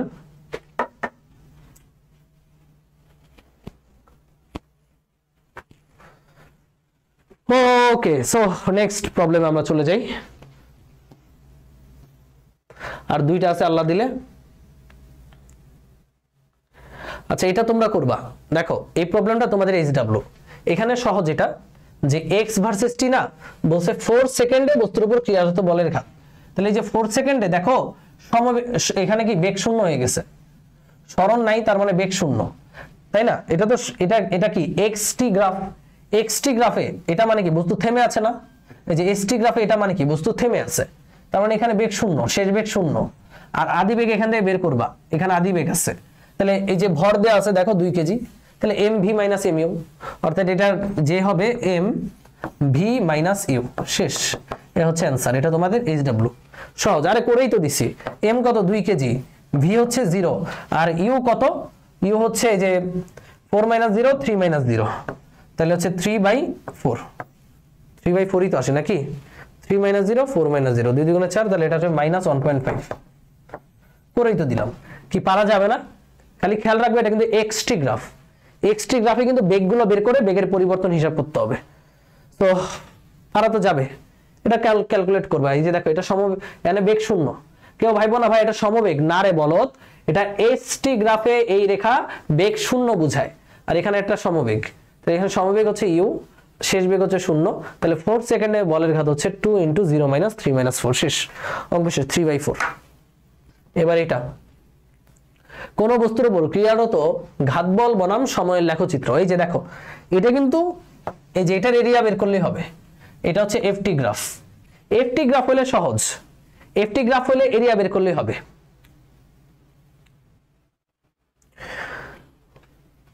FT graph করলে হবে, কোন বস্তুর উপর ক্রিয়ারত ঘাতবল বনাম সময়ের লেখচিত্র।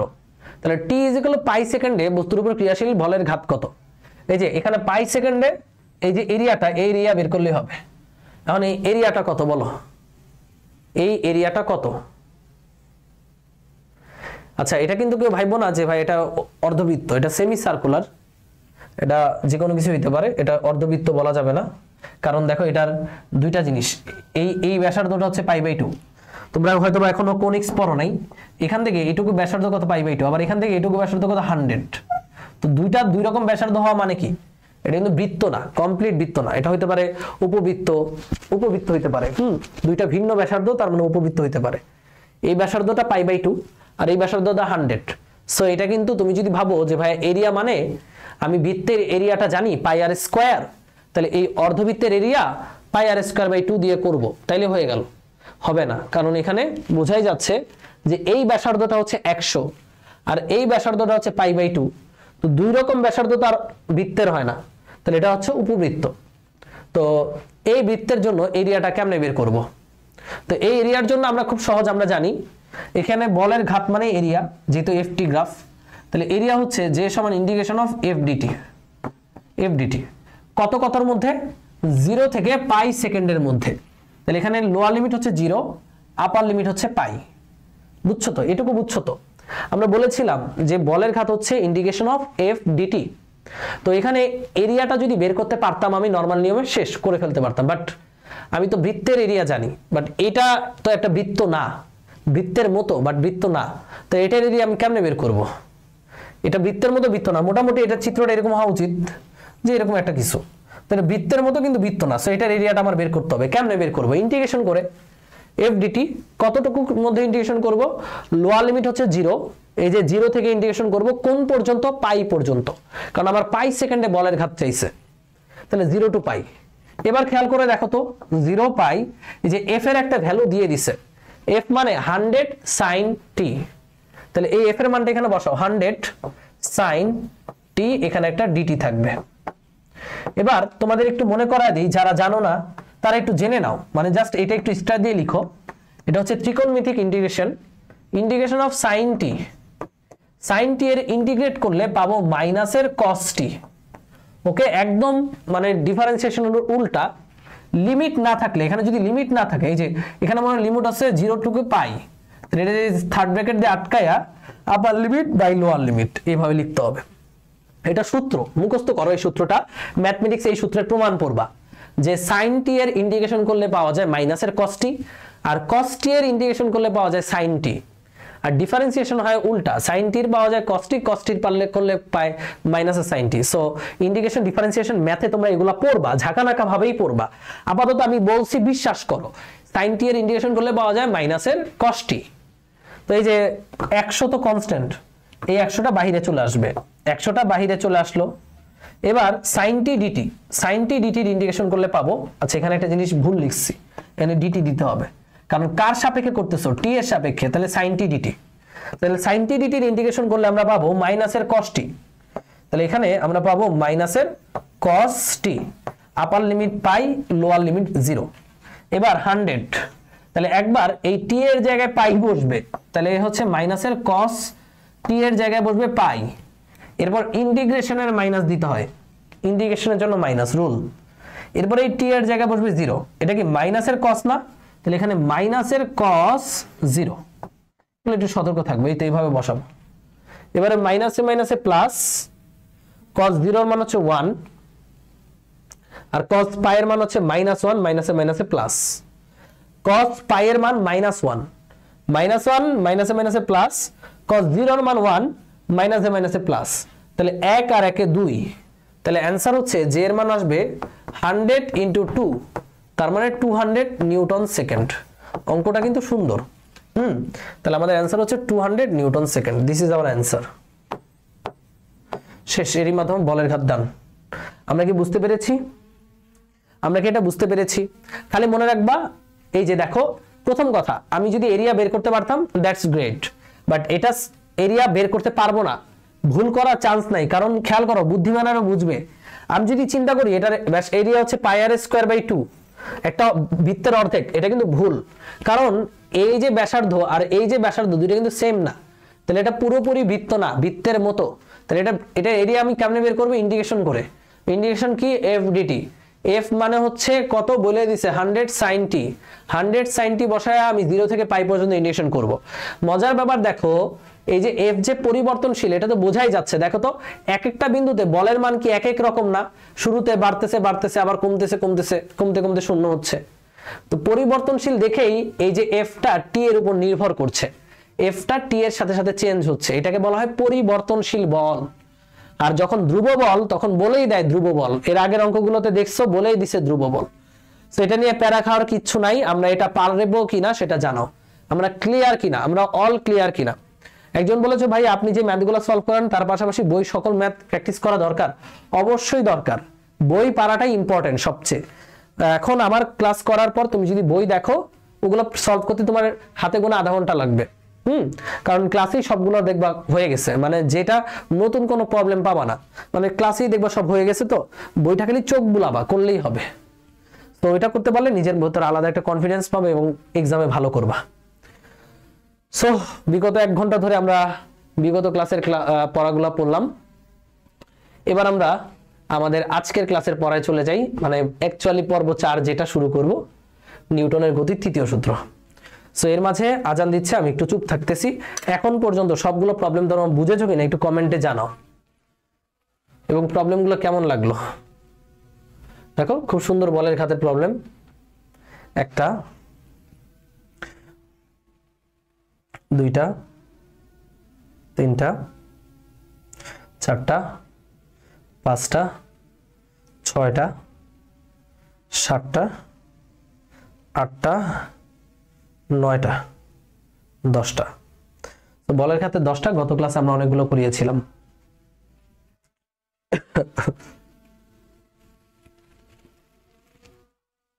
বলের ঘাত শেষ। বলের ঘাতকে আমরা কবর দিয়ে দিলাম।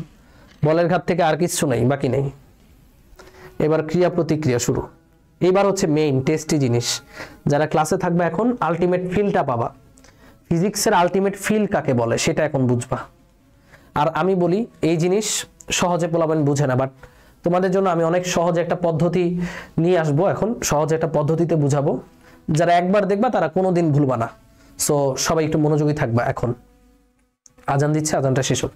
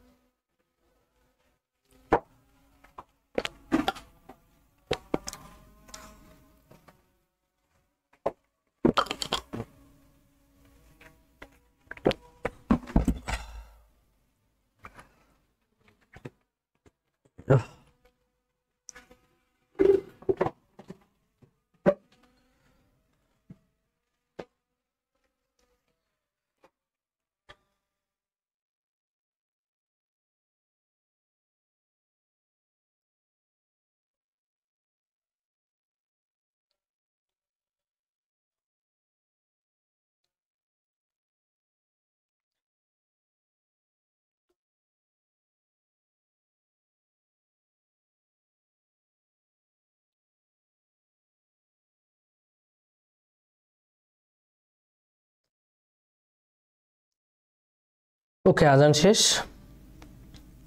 So now we can start আচ্ছা সো আমরা একটু সবাই শরীরটা ঝাড়া মারা দিই। হ্যাঁ একটু ব্যায়াম করে নিই সবাই। কারণ একটু ব্যায়াম করলে আবার নতুন পড়ার ইয়া, উদ্যম পাবো। এবং এখন যেটা পড়াবো, সেটা সবচেয়ে গুরুত্বপূর্ণ আমাদের নিউটনিয়ান বলবিদ্যা ইভেন ফিজিক্সকে ফিল করার জন্য। ওকে তো অস্থির জিনিস আমরা এখন জানতে শিখব, যে শিখব। সো সেটা সূচনা হবে নিউটনের গতির তৃতীয় সূত্র দিয়ে। বলতে পারো ভাইয়া, এটা আর এমন কি? এটা তো সহজ জিনিস। প্রত্যেক ক্রিয়ারই সমান ও বিপরীত প্রতিক্রিয়া থাকবে। বাট সহজ জিনিসের মধ্যে কিন্তু সব মানে সহজ জিনিস আসলে সহজ না অ্যাকচুয়ালি এই জিনিসটা অ্যাকচুয়ালি ফিল করতে হবে। সবাই লিখো। Every action has an equal and opposite reaction তাই না? প্রত্যেক ক্রিয়ারই ক্রিয়ারই সমান ও বিপরীত প্রতিক্রিয়া থাকে, তাই না? সমান ও বিপরীত বিপরীত প্রতিক্রিয়া থাকবে। বিপরীত প্রতিক্রিয়া। প্রত্যেক ক্রিয়ারই সমান ও বিপরীত প্রতিক্রিয়া থাকবে। সেটা হচ্ছে নিউটনের তৃতীয় সূত্র। তো ক্রিয়া প্রতিক্রিয়া বলতে মূলত এখানে বল বোঝানো হচ্ছে force every force has an equal and opposite reaction তো এক্ষেত্রে আমরা একটা এক্সাম্পল দিয়ে শুরু করতে পারি। তো ধরো তুমি ফুটবলে লাথি মারলা, অনেক জোরে লাথি মারলা। তো ফুটবলটা তো দৌড়ায় গেল। একই সাথে তুমি তোমার পায়েও কিন্তু ব্যথা পাবা, তাই না? পায়ে কিন্তু ব্যথা পাওয়া যায়। ফুটবলকে জোরে লাথি মারলে পায়ে ব্যথা পাওয়া যায়। তো তুমি অ্যাকচুয়ালি ফুটবলকে যেই লাথিটা দিছো, ওইটা হচ্ছে ফুটবলের উপর ক্রিয়া। আর ফুটবলও বসে নাই। ফুটবলও তোমাকে একটা অপোজিট রিয়াকশন দিছে, যেটা হচ্ছে তোমার পায়ের উপর। এটাকে বলে প্রতিক্রিয়া। ওকে? তাহলে ক্রিয়া প্রতিক্রিয়া কিন্তু কাজ করছে। এবার অনেকের মনে প্রশ্ন যে, ভাইয়া, ক্রিয়া প্রতিক্রিয়া যদি সমান হয়, তাহলে ফুটবলটা কেমনে দৌড় দিল? ফুটবলের উপর তো তাহলে নিট বল শূন্য। বলো তো, এটার উত্তরটা কি হইতে পারে? আমাকে একটু জানাও। এই মনে করো ফুটবল। তুমি এদিকে দিলা ক্রিয়া, ফুটবলের এদিকে দিল প্রতিক্রিয়া। তো ক্রিয়া প্রতিক্রিয়া যদি সমান হয়, এটা ফাইভ এটাও ফাইভ তাহলে ফুটবলটা কেন দৌড় দিবে? ফুটবলটা তো স্থির থাকার কথা। তাই না? কারণ ওর উপর নিট বল শূন্য। ওর উপর মোট বল কত? এখানে মোট বল কত হবে? মোট বল হবে five minus five is equal to zero তাহলে কেন ফুটবলটা দৌড়াচ্ছে? আমাকে একটু কেউ কমেন্টে একটু জানাও তো দেখি, আন্ডু আচুস আমাকে একটু কমেন্টে জানাও যে কেন ফুটবলটা দৌড়াবে? তারপরেও কেন ফুটবলটা দৌড় দিবে?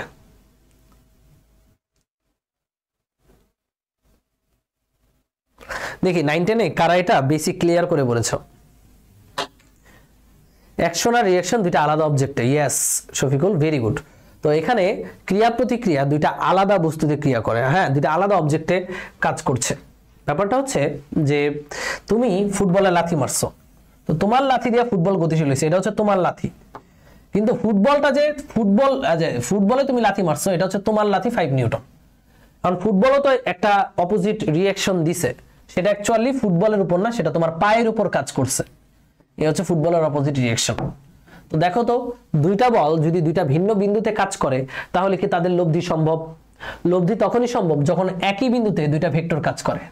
একই বিন্দুতে দুইটা ভেক্টর কাজ করলে এই বস্তুর লব্ধি হিসাব করা সম্ভব।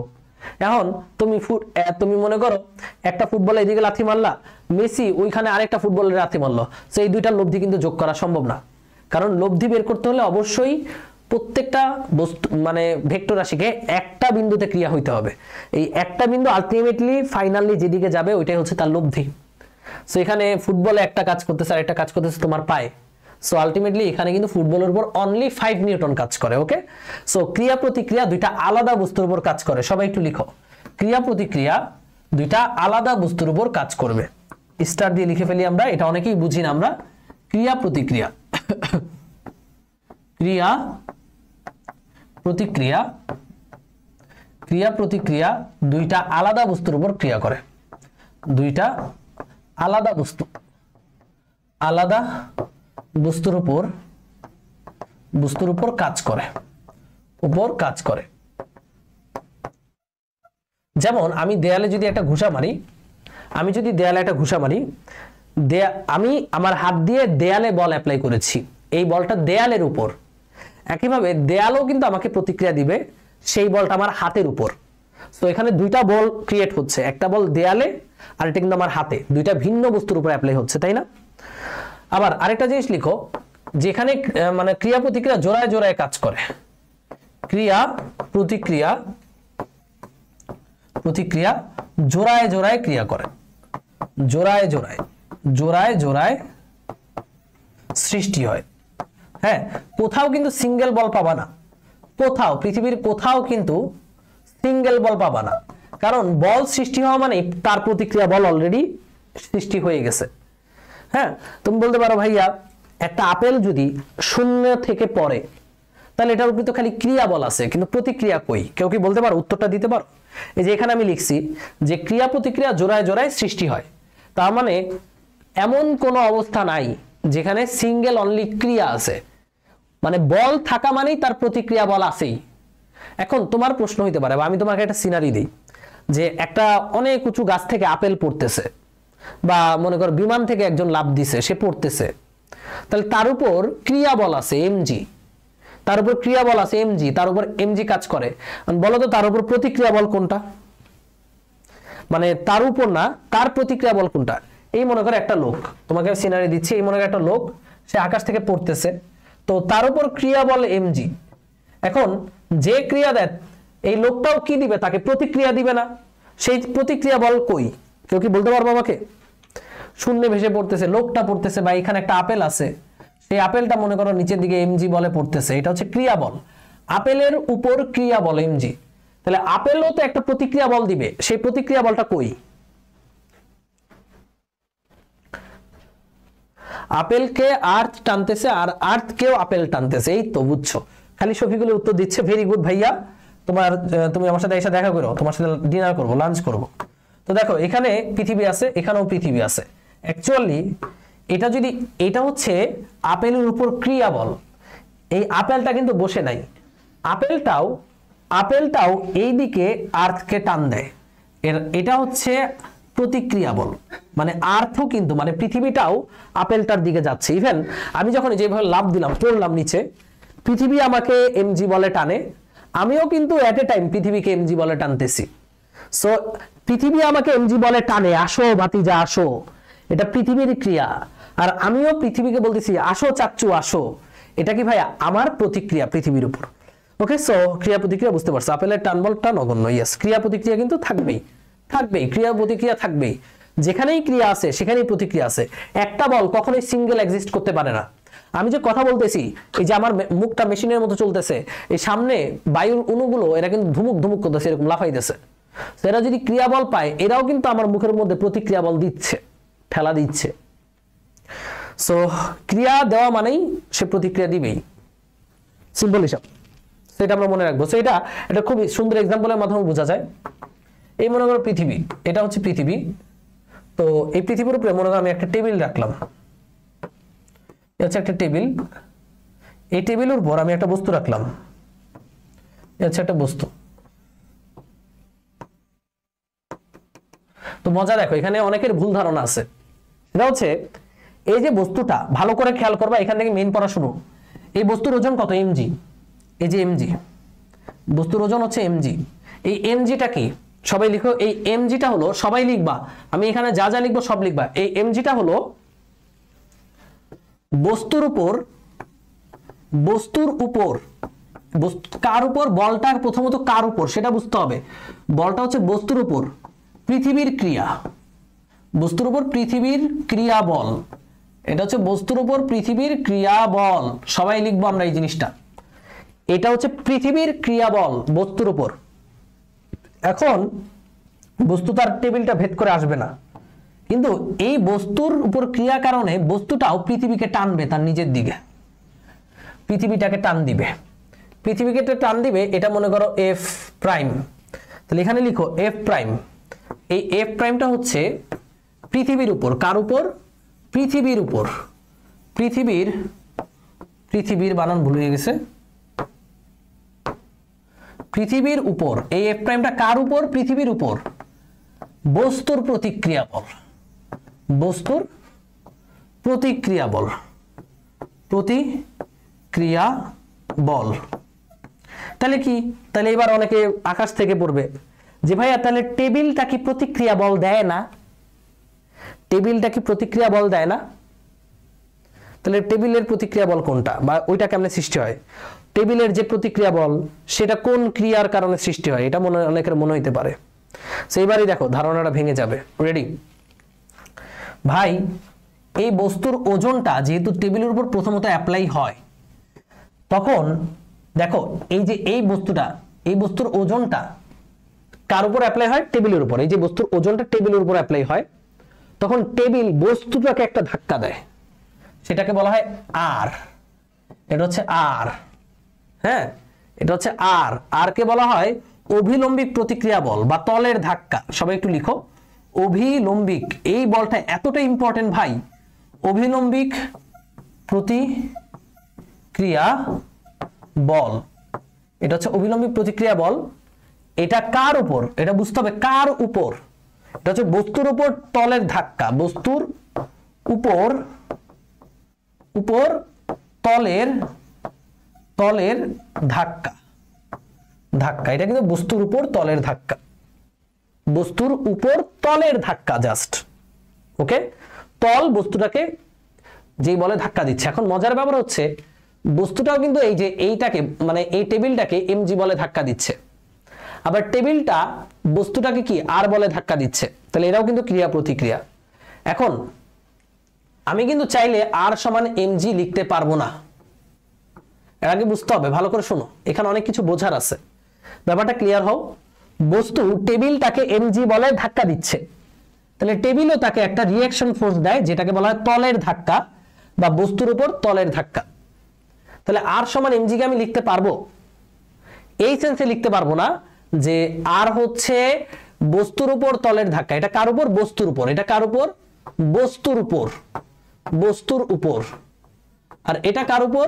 এটা টেবিলের উপর টেবিলের উপর। তো দুইটা ভিন্ন জিনিস, দুইটা ভিন্ন বস্তুর উপর যেহেতু এই দুইটা বল অ্যাপ্লাই হচ্ছে, তাহলে দুইটাকে আমি ইকুয়াল লিখতে পারব না। আমি তখনই ইকুয়াল লিখতে পারব যখন দুইটা বল একই বস্তুর উপর কাজ করবে। তো এখানে মজার ব্যাপার হচ্ছে এটাই যে দেখো, দিন শেষে এই এমজিটা কার উপর কাজ করে? বস্তুর উপর। যদি আমি এই এমজিটা চিন্তা করি, আর এই আটটা কার উপর কাজ করে? তলের বস্তুর উপর। দুইটাই বস্তুর উপর কাজ করতেছে, তখন আমরা আরিকাল এমজি লিখতে পারব। বুঝছ? মানে এখানে ভাষাগত, তুমি যদি আর এইভাবে আরিকাল এমজি লিখো, কেউ তো বুঝব না, কেউ, কারণ তুমি কোন সেন্সে লিখছো? দেখো, আমরা অনেক সময় না বুঝে সঠিক লিখে ফেলি। আরিকল এমজি এটা না বুঝে সঠিক লেখা। আর এই যে এই হলুদটা, এটা বুঝে সঠিক লেখা। এখানে অনেকগুলো বল আছে। এখানে অনেকগুলো বল আছে, সব বিবেচনা করতে হবে। একটা হচ্ছে বস্তুর উপর এমজি বল। আর এটা হচ্ছে টেবিলের উপর এমজি বল। আর এটা হচ্ছে টেবিলের ধাক্কা আর টেবিলের ধাক্কা আর কিন্তু টেবিলের উপর এমজি বলের কারণে কাজ করতেছে। তো আমাদের টেবিলের উপর এমজি বল সমান বস্তুর উপর আর বল, এটা লেখা যাবে না। তো অ্যাকচুয়ালি আর সমান এমজি লেখা যায়, কিন্তু তোমার বুঝে লিখলে বা, লিখতে পারলে তোমার বেসিকটা ক্লিয়ার থাকবে। কি বুঝে লিখবা? যে যখন আমরা এরকম কোনো সমীকরণ লিখব, এখান থেকে সামারাইজেশন এটাই, এরকম কোনো সমীকরণ লিখব, তখন এই সমীকরণটা কিন্তু একটি বস্তুর জন্য, একটি বস্তুর জন্য একটা সমীকরণ হয়। একটি বস্তুর জন্য কয়টা সমীকরণ হয়? একটা সমীকরণ হয়। তাহলে এই বস্তুর উপর এমজি কাজ করতেছে, এই বস্তুর উপর তলের ধাক্কা কাজ করতেছে, তখন আমরা আর সমান এমজি লিখতে পারি। ওকে? কথা ক্লিয়ার এখানে একটু ভেজাল আছে, তো ওই ভেজালটুকু না মনে রাখলেও চলবে। জাস্ট এটা মনে রেখো, যেখানে এমজি কিন্তু বস্তুর উপর আছে, টেবিলের উপর আছে, টেবিলের প্রতিক্রিয়া বল আছে।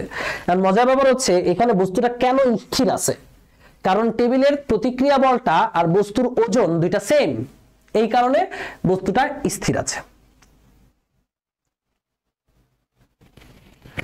আচ্ছা তো এটুকু আশা করি সবাই ক্লিয়ার এবার আমরা কয়েকটা বলের সাথে পরিচিত হব। কয়েকটা বলের সাথে পরিচিত হওয়ার পর দেখবা সবকিছু সহজ হয়ে গেছে। এগুলো কঠিন লাগতে পারে শুরুতে বাট এই যে কয়েকটা বলের সাথে পরিচিত হওয়ার পর আমরা যখন আরও কয়েকটা ডায়াগ্রাম দেখব, দেখবা সব সহজ হয়ে গেছে। তো রেডি অভিকর্ষ বল। অভিকর্ষ বল কোনটা? লিখো। ইংলিশে লিখো। অভিকর্ষ বল হচ্ছে পুল ফোর্স পুল ফোর্স। পুল মানে কি? যেটা টানবে। অভিকর্ষ বল হচ্ছে খাড়া নিচের দিকে। খাড়া নিচের দিকে কাজ করে। খাড়া নিচের দিকে কাজ করে। খাড়া নিচের দিকে ক্রিয়া করে। খাড়া নিচের দিকে ক্রিয়া করে, ওকে? অভিকর্ষ বল খাড়া নিচের দিকে ক্রিয়া করে। এরপরে লিখো অভিকর্ষ বল হচ্ছে এমজি এটা বস্তুর উপর খাড়ার নিচের দিকে ক্রিয়া করে। এই তিনটা জিনিস লিখে ফেলো। পুল মানে কি? পুল মানে টানা। এই যে পুল করা, আসো, কাম কাম, এটা হচ্ছে অভিকর্ষ বল। কাম কাম, এটা হচ্ছে অভিকর্ষ বল, পুল ফোর্স। খাড়া নিচের দিকে ক্রিয়া করে, এই অভিকর্ষ বলের মান হচ্ছে এমজি যেন আমি যদি বলি, এই হেলানো তলের উপর এইখানে মনে করেন একটা বস্তু আছে। তুমি যদি কও যে, ভাই, আমি যদি, এবার তোমাকে প্রশ্ন করলাম যে অভিকর্ষ বল কোন দিকে? এটার ভর হচ্ছে এম ওজন হচ্ছে এমজি তুমি বললা, ভাইয়া, বস্তুটা যেহেতু এদিকে নামে, তাহলে অভিকর্ষ বল এইদিকে এমজি তাহলে তোমাকে আমি বলক বলব। এর কারণ অলরেডি আমি লিখে দিছি যে অভিকর্ষ বল পুল ফোর্স এটা খাড়া নিচের দিকে কাজ করে। তো যারা যারা এটা বলবা, তারা বলদ ছাড়া কিছুই না। তারা অবশ্যই মনে রাখবে অভিকর্ষ বল এই পয়েন্ট থেকে খাড়া নিচে। খাড়া নিচে বুঝাতো এটা এমজি এটা টুয়ার্ডস আর্থ খাড়া নিচের দিকে কাজ করে টুয়ার্ডস আর্থ কোন দিকে? টুয়ার্ডস আর্থ টুয়ার্ডস আর্থ এই লাইনগুলো মনে রাখতে হবে অঙ্ক করার জন্য। টুয়ার্স আর্থ এই হচ্ছে অভিকর্ষ বলের সাথে পরিচয় হইল। এবার অভিলম্বিক প্রতিক্রিয়া বল। সবচেয়ে ইম্পর্টেন্ট বল আমাদের কোয়েশ্চেন সলভ করার জন্য। আচ্ছা আগের স্লাইডে তুমি কিছু বোঝো না বুঝো। এই স্লাইডটা বুঝতে পারলেই চলবে হ্যাঁ? এই স্লাইডটা বুঝো রেডি এটুকু বুঝছ অভিকর্ষ বল কি কি? অভিকর্ষ বল এমজি খাড়া নিচের দিকে। অভিকর্ষ বল হচ্ছে টুয়ার্ডস আর্থ এটা হচ্ছে পুল ফোর্স কাছে টানে পুল পুল ফোর্স এবার অভিলম্বিক প্রতিক্রিয়া বল। অভিলম্বিক প্রতিক্রিয়া বল। সবাই এই বলটা, এই বলটাকে আমরা আর আর ইন্ডিয়ান বইয়ে এটাকে এন দ্বারা প্রকাশ করে। ইংলিশ নাম হচ্ছে নর্মাল ইংলিশ নাম হচ্ছে normal force normal force okay তো নর্মাল ফোর্স সম্পর্কে জানব। সবাই একটু মাথাটা ক্লিয়ার করে বসো। তোমার এই আগের স্লাইড মনে রাখার দরকারই নাই। কারণ অনেক হিজিবিজি অবস্থা একটা হয়ে গেছে। বাট এই স্লাইডটা বুঝো কিনা একটু বোঝো, নতুন করে। অভিলম্বিক প্রতিক্রিয়া বল বা নর্মাল ফোর্স এটাকে বলি আমরা আর বা এন দ্বারা প্রকাশ করি। তো এটা কি? ভাইয়া, এটা হচ্ছে তলের ধাক্কা। প্রথম কথা লিখো, তলের ধাক্কা। তলের ধাক্কা। তারপরে লিখো কন্টাক্ট ফোর্স মানে স্পর্শ বল। এটা কেমন বল? স্পর্শ বল। ইংলিশে যদি বলি, তাহলে বলা হয় কন্টাক্ট ফোর্স কন্টাক্ট ফোর্স এরপর আমি এই জিনিসটাকে চেনাবো, আগে লিখো। এটাকে বলব আমরা কন্টাক্ট ফোর্স এটাকে বলা হয় তলের ধাক্কা, বা ইংলিশে আমরা বলতে পারি push force push force okay এটাকে লিখব আমরা, অবশ্যই এটার দিক কোন দিকে? দিক হচ্ছে perpendicular perpendicular perpendicular on surface মানে তলের উপর লম্ব। বাংলায় যেটাকে বলা হয় তলের উপর লম্ব পুশ ফোর্স ব্যাপারটা ক্লিয়ার করি, দেখো। তো পুশ মানে কি? দূরে ধাক্কা দিয়ে ফেলে দেওয়া, ধাক্কা দিয়ে ফেলে দেওয়া। এই মনে একটা বস্তু। আর এখানে আরও একটা বস্তু। এই মনে কর আরেকটা বস্তু ওকে দুইটা কাছাকাছি এভাবে লাগানো আছে কন্টাক্ট তো লাগানো আছে। তো আমরা অভিলম্বিক প্রতিক্রিয়া বল দেখতে চাই। তো অভিলম্বিক প্রতিক্রিয়া বল যে খালি মানে কোথায় সৃষ্টি হবে? এটা হচ্ছে তলের ধাক্কা। স্পর্শ বল বা কন্টাক্ট ফোর্স তাহলে কোথায় কোথায় কন্টাক্ট আছে বা টাচ আছে, দেখো তো। কোথায় কোথায় টাচ আছে? এই যে এইখানটাতেই তো টাচ আছে অনলি এই যে এইখানটাতেই তো টাচ আছে। তাহলে এইখানে এই বলটা সৃষ্টি হবে। যেখানে টাচ এই যে এই জায়গাটুকু, এই জায়গাটুকুতে এই বলটা সৃষ্টি হবে। তাহলে এটা কন্টাক্ট ফোর্স এটা একটা পুশ ফোর্স মানে পুশ মানে দুইটা বস্তুকে এটা দূরে সরিয়ে দিতে চায়। তাহলে অ্যাকচুয়ালি আমি যদি এই ফোর্সটার চেহারা আঁকি, তাহলে এই যে দুইটাকে এভাবে আঁকবো পুশ ফোর্স মানে কি? এই যে এখানে একটা বল সৃষ্টি হবে, প্রতিক্রিয়া, অবিলম্বী প্রতিক্রিয়া বল, এইটা দূরে সরিয়ে দিতে চাইবে। দূরে সরিয়ে দিতে চাইবে। তোমাদের কাছে আমার কুইজ যে আমি যদি অবিলম্বী প্রতিক্রিয়া বলে চিত্রায়িত করি, বলো তো, এখানে এই যে দুইটা দুইটাকে আলাদা করে আইকা দেখাইলাম, বলো তো এখানে গোলাপিটা না সাদাটা, কোনটা অবিলম্বী প্রতিক্রিয়া বল? গোলাপিটা নাকি সাদাটা? বলো। এই যে গোলাপি কালার চিহ্ন? নাকি সাদা কালার তীর চিহ্নটা অবিলম্বী প্রতিক্রিয়া? বলো তো আমাকে উত্তর দাও। এই যে চিত্রটা আঁকলাম মানে এই চিত্রটাকে একটু এই পাশে ভেঙে আঁকলাম, কারণ এই যে কন্ট্যাক্টে একটা ফোর্স কাজ করে, যেটাকে বলি আমরা অভিলম্বিক প্রতিক্রিয়া বল। তো এই প্রতিক্রিয়া বলটা কন্ট্যাক্ট কন্ট্যাক্ট এখানেও হতে পারে, যদি আমি এখানে ভূমি রাখি, তাহলে ভূমির সাথে কন্ট্যাক্ট হবে। বাট আমি আগেই ভূমি আঁকলাম না, আগে আমি এটা আইকা দেখাচ্ছি। যে বলো, এখানে এই যে এই যে কন্ট্যাক্ট বা স্পর্শ তলে অবিলম্বী প্রতিক্রিয়া বল কোনটা? সাদাটা না গোলাপিটা? একজন বলছে, গোলাপি। যারা গোলাপিটা বলছো, তারা সবাই ভুল করেছ। কারণ অলরেডি খেয়াল করো, আমি বলে দিছি অবিলম্বিক প্রতিক্রিয়া বলটা হচ্ছে পুশ ফোর্স পুশ পুশ মানে কি? কাছে আসো। কাছে আসো। এটা হবে পুশ সবাই গোলাপি বলতেছো, না। গোলাপিটা এটা কাছে আসো বোঝায়। গোলাপিটা ওদেরকে কাছে আসো বোঝায়। বাট অবিলম্বিক প্রতিক্রিয়া বলটা হচ্ছে পুশ দূরে সর।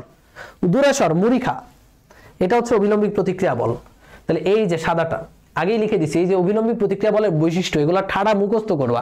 অবশ্য প্র্যাকটিস করতে করতে এগুলো মনে ঢুকে যাবে। তাহলে অবিলম্বিক প্রতিক্রিয়া বলটা কি? একটা তলের ধাক্কা। স্পর্শ তলে ধাক্কা।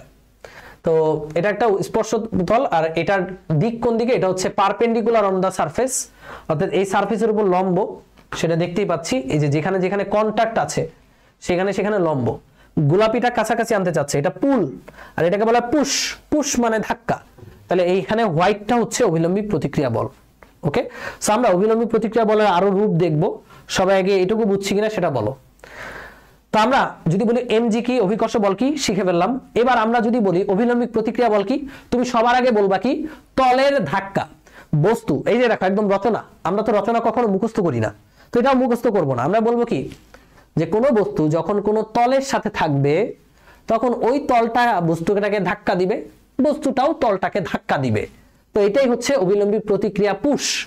পুশ, যা দূরে সর, পুশ। হুম? আর এই অবিলম্বিক প্রতিক্রিয়া বলটার দিক হবে তলের উপর লম্ব, পারপেন্ডিকুলার টু দা সারফেস। এই যে দেখো, এবার কয়েকটা জিনিস আঁকি। চমৎকার চমৎকার জিনিস লাগবে আমাদের হ্যাঁ? এই মনে করো তল। এবার আমি একটা বস্তুকে এখানে রাখলাম। এই বস্তুটাকে এখানে রাখলাম। তো আমি যদি বলি অবিলম্বিক প্রতিক্রিয়া বলগুলো আঁকো, কীভাবে আঁকবা? কীভাবে আঁকবা? এই যে এভাবে আঁকবো, দেখো, একদম সহজভাবে। তো আঁকার জন্য প্রথম কথা, আমরা এই দুইটা জিনিসকে একটু আলাদা করে আঁকবো, একটু গ্যাপ দিয়ে আঁকবো। এই যে এখানে একটা আঁকলাম, এখানে বস্তু রাখলাম গ্যাপ দিয়ে আঁকলাম। এবার ভাইয়া, আমরা কি বলছি? আমি খালি বলছি অবিলম্বিক প্রতিক্রিয়া বল আঁকো, অন্য কোনো বল আঁকার দরকার নাই। অন্য কোনো বল পরে আঁকবো, আগে অবিলম্বিক প্রতিক্রিয়াটাকে চিনি।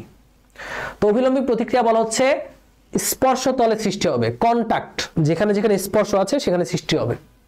তো এই যে এখানে স্পর্শ আছে, আর কোথাও স্পর্শ আছে? নাই। তাহলে এখানে সৃষ্টি হবে। এবং এটা হচ্ছে পুষ দূরে সরাইতে চাবে। তাহলে এই যে এইদিকে একটা এইদিকে একটা সৃষ্টি হবে। আমি রেড কালার দিয়ে আঁকি, তাহলে তোমরা বুঝবা। আচ্ছা তাহলে এই হচ্ছে একটা পুশ এবং এই হচ্ছে একটা পুষ এই হচ্ছে আমাদের অবিলম্বী প্রতিক্রিয়া বল। এবং দেখো, এটা কিন্তু তলের উপর লম্ব। এটা কিন্তু এইভাবে কাজ করে নাই কিংবা এইভাবে কাজ করে নাই। কারণ অভিলম্বী প্রতিক্রিয়া বল হবে তলের উপর লম্ব। তলটা যেইভাবে আছে কন্টাক্ট যেভাবে আছে, তার উপর লম্ব। ব্যাপারটা ক্লিয়ার করে যদি আবারও বুঝাই, এই মনে করো তল। তুমি মনে করো এইভাবে একটা জিনিস খাড় করা রাখলে, এই যে এইভাবে। তো কেউ আমরা বলতে পারবা, এখানে অবিলম্বিক প্রতিক্রিয়া বল কোন দিকে? কেউ একটু আঁকো তো। আমার সাথে সাথে মানে তোমরাও আঁকো, আমিও আঁকি, দেখি মিলে কিনা আমার সাথে তোমাদের। অনলি অবিলম্বিক প্রতিক্রিয়া আঁকবো, অন্য কিছু আঁকবো না হ্যাঁ? অনলি অবিলম্বিক প্রতিক্রিয়া। আঁকার জন্য সবচেয়ে সহজ হচ্ছে দুইটাকে আলাদা করে দেওয়া। যেভাবে আলাদা করে দিছি। এবার এটা হচ্ছে কন্টাক্ট এই যে কন্টাক্ট কন্টাক্টে আঁকবো, তাই না? স্পর্শতলে অঙ্কন করব, এই যে স্পর্শতলে। এটা ছিল স্পর্শ তল তাহলে অ্যাকচুয়ালি এখানে অবিলম্বী প্রতিক্রিয়া বলটা হবে এই বরাবর। তলের উপর লম্ব, এটা তো তল। এই যে তলটা, এইটা স্পর্শ তল, এইটার উপর লম্ব।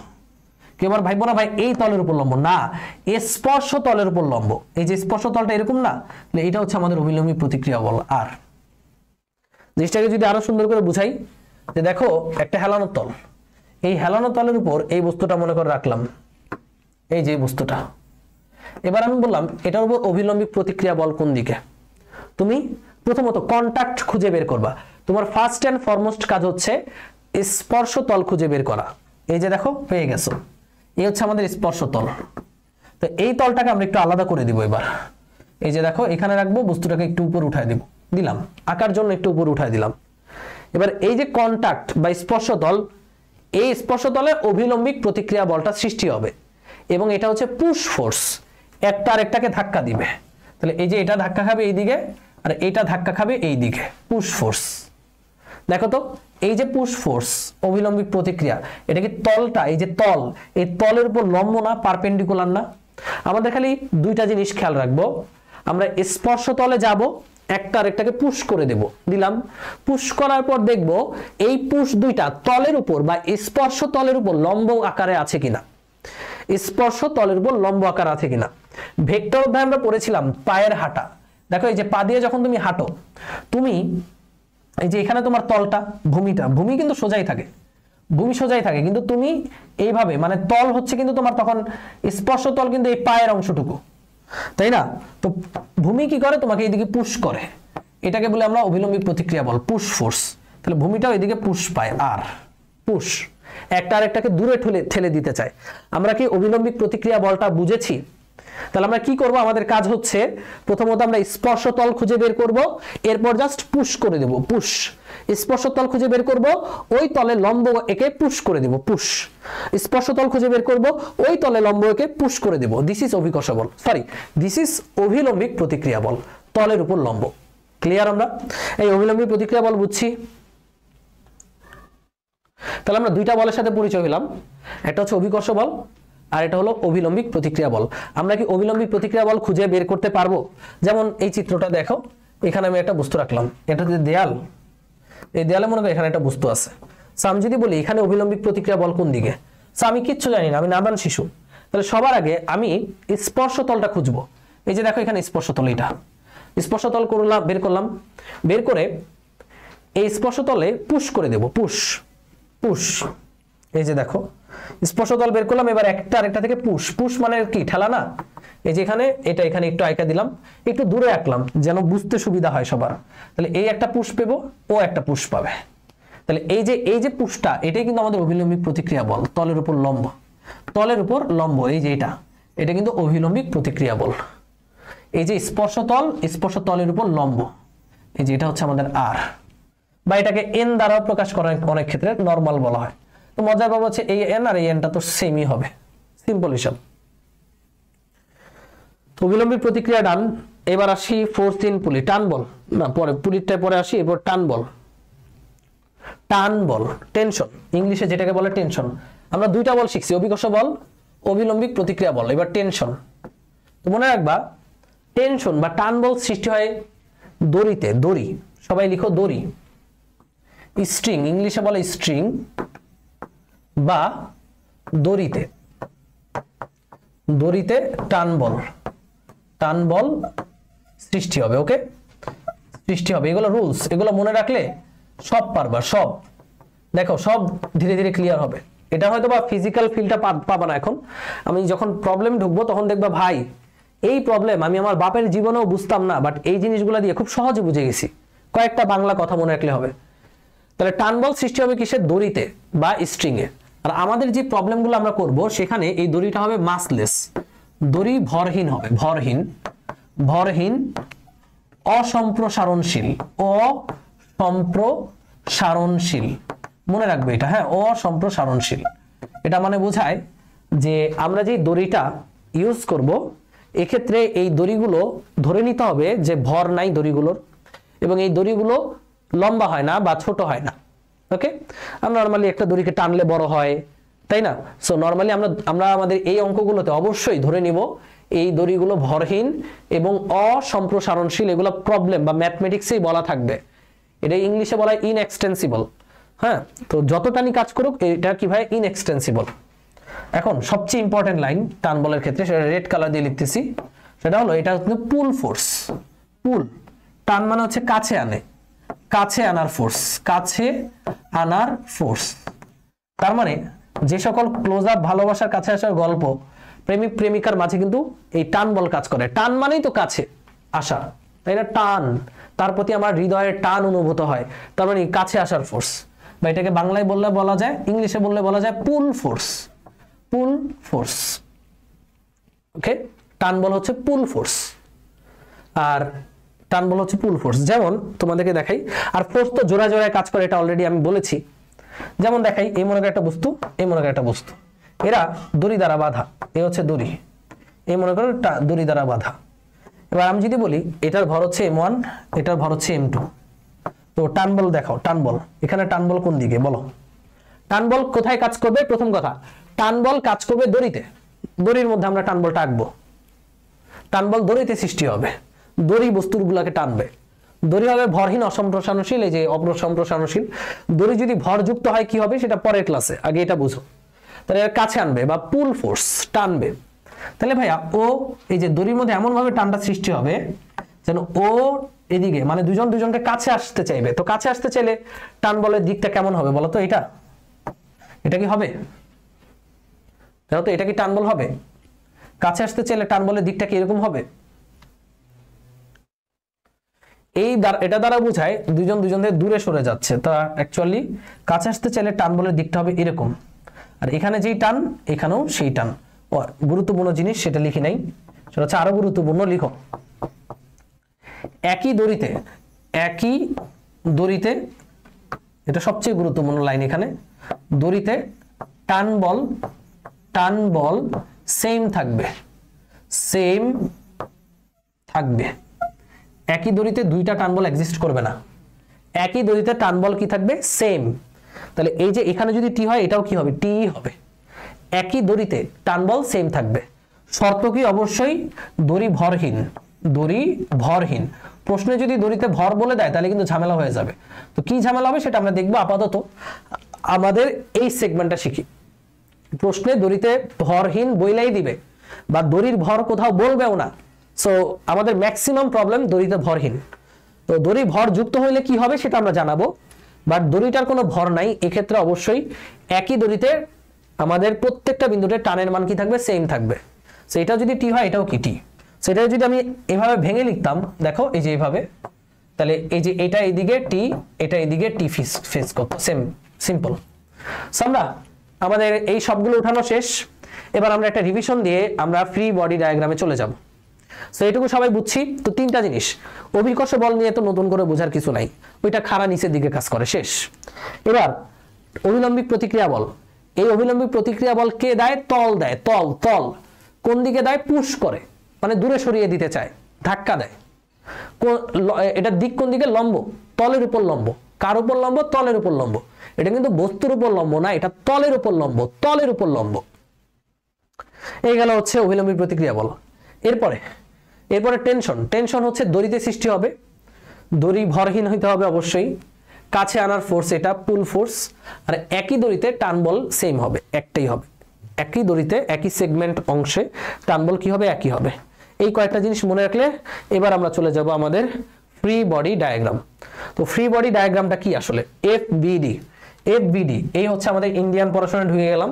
যদিও বাংলাদেশে ওইগুলো আছে, খালি বাংলাদেশে এগুলো ডিরেক্টলি বলা নাই। ফ্রি বডি ডায়াগ্রাম কেউ যদি ভাবো যে ভাই এটা লাগবে না, তারা বোকার স্বর্গে বাস করছ, কারণ পুরো নিউটনিয়ান বলবিদ্যা এই ফ্রি বডি ডায়াগ্রাম দিয়ে পড়তে হবে। মানে শুধু নিউটনিয়ান বলবিদ্যা না, তারপরে তোমার স্থিরতড়িৎ বা অন্য যে কোনো অধ্যায়ে বলের কোনো কারবার থাকলে এই ফ্রি বডি ডায়াগ্রাম দিয়ে পড়তে হবে। তো ফ্রি বডি ডায়াগ্রাম বাংলায় কি বলে বলো? ফ্রি বডি ডায়াগ্রাম কথার মধ্যে সব লেখা আছে। এখানে বলা আছে যে বডি বডি মানে বস্তু। বস্তুকে মুক্ত করব, মুক্ত করে চিত্র আঁকবো, শেষ। ফ্রি বডি ডায়াগ্রাম মানে হলো বস্তুকে মুক্ত করব, মুক্ত করে চিত্র আঁকবো। কিসের চিত্র? বলের চিত্র। কিসের চিত্র? বলের চিত্র। তো আমরা এখানে একটা চিত্র দিয়েছি। এই চিত্রতে যতগুলো বল আছে, তার ফ্রি বডি ডায়াগ্রাম আঁকো প্রশ্ন হলো, এই যে একটা চিত্র, এই চিত্রের এফ বিডি আঁকো। এফ বিডি মানে বস্তুকে আমি মুক্ত করব, মুক্ত করে তার উপর যতগুলো বল আছে, সেই বলগুলো এঁকে দিব। আর বল পড়ছি কয়েক ধরনের, তিন ধরনের, অভিকর্ষ বল, টান বল, আর হচ্ছে অভিলম্বিক প্রতিক্রিয়া বল, যেটাকে বলা হয় নর্মাল ফোর্স সো সিম্পল তিনটা বলি আমরা একবার কিছু না। এবার শুরু, খেলা শুরু। প্রথমটা আমার সাথে সবাই মিলাও দেখি, কার কার হয়। তো এখানে অ্যাটাচ বডি আছে, আমি এটাকে ফার্স্টে মুক্ত করব। তো মুক্ত কেমনে করব? কন্ট্যাক্টটা খুঁজে বের করি, এই যে এখানে কন্ট্যাক্ট তো মুক্ত করো। প্রথমত মুক্ত করো। এই যে দেখো, কানার বাই অন্ধও পারবে। এই হচ্ছে দেয়াল। আর এই হচ্ছে বস্তু। এই হচ্ছে দেয়াল, এই হচ্ছে বস্তু। একটু মুক্ত করলাম। এই যে ফ্রি করলাম। ফ্রি করার পর যা যা বল আছে তাতে আঁকবো। প্রথমত বস্তুর ভর হচ্ছে এম তাহলে বস্তুর ওজন হচ্ছে এম জি এই যে দেখো, বস্তুর ওজন। এই হচ্ছে বস্তুর ওজন এম জি একে দিলাম। শেষ। এবার এম জি আঁকা শেষ। এবার, এই যে কন্ট্যাক্ট এই কন্ট্যাক্টে এই তলটা বস্তুকে অবশ্যই একটা পুশ দিবে। যা, দূরে সর। যা, দূরে গিয়ে মর। এটাকে বলা হয় অবিলম্বিক প্রতিক্রিয়া বল। তাহলে এই যে পুশ, এই যে পুশ পেল সে, এটাকে বলব আমরা তলের অবিলম্বিক প্রতিক্রিয়া বল এন দ্বারা প্রকাশ করব। তাহলে তল যদি ওরা পুশ দেয়, ও কি বসে বসে আঙুল চুষবে? মোটেও না। অয়ও কি তল তলডারে পুষ দিবে? এই যে তলকেও পুষ দিল এন। ওকে? আর কেউ নাই, শেষ। এটুকু কার কার সাথে মিলছে একটু দেখা ও, আরেকটা জিনিস আরেকটা জিনিস, সেটা হচ্ছে যে এফ। এফটা অনলি কার উপর? দেখো এফ কিন্তু অনলি বস্তুর উপর, আর কার উপর নাই? এই যে এফ এই এফটা অনলি বস্তুর উপর, এই যে এদিকে এফ এবার বলো, আমার এই চিত্রটা কার কার সাথে মিলছে? তারা তারা উইনার আমার এই চিত্র কার কার সাথে মিলেছে? তারা বস চিত্র সবার সাথে মিলেছে, চিত্র সবার সাথে মিলেছে, এটাকে বলে ফ্রি বডি ডায়াগ্রাম কঠিন না সহজ? কঠিন না সহজ? এখন তোমারে যদি এখানে বলে ধরো এই কোয়েশ্চেনটা দিয়েই বলল, এই যে দেয়ালের উপর ধাক্কা কত? তুমি কইবা এন এখন আমি যদি বলি, বস্তুর উপর অভিকর্ষ বল কত? এমজি আমি যদি বলি, বস্তুর উপর এক্স অক্ষে ধাক্কা কত? তাহলে এন এবং এফ দুইটা বিপরীত দিক দিয়ে। তাহলে এক্স অক্ষে ধাক্কা N minus F N minus F simple হিসাব। তো ভাই ওটি পরে আসতেছি। আগে বলো, এটা সবার সাথে মিলছে কিনা? তো সবাই, আমরা এখন আমরা এখন এই ফ্রি বডি ডায়াগ্রাম আঁকা শুরু করব। সবাই আমার সাথে মিলাবা। রেডি পরেরটায় যাব আমরা। খেলা শুরু।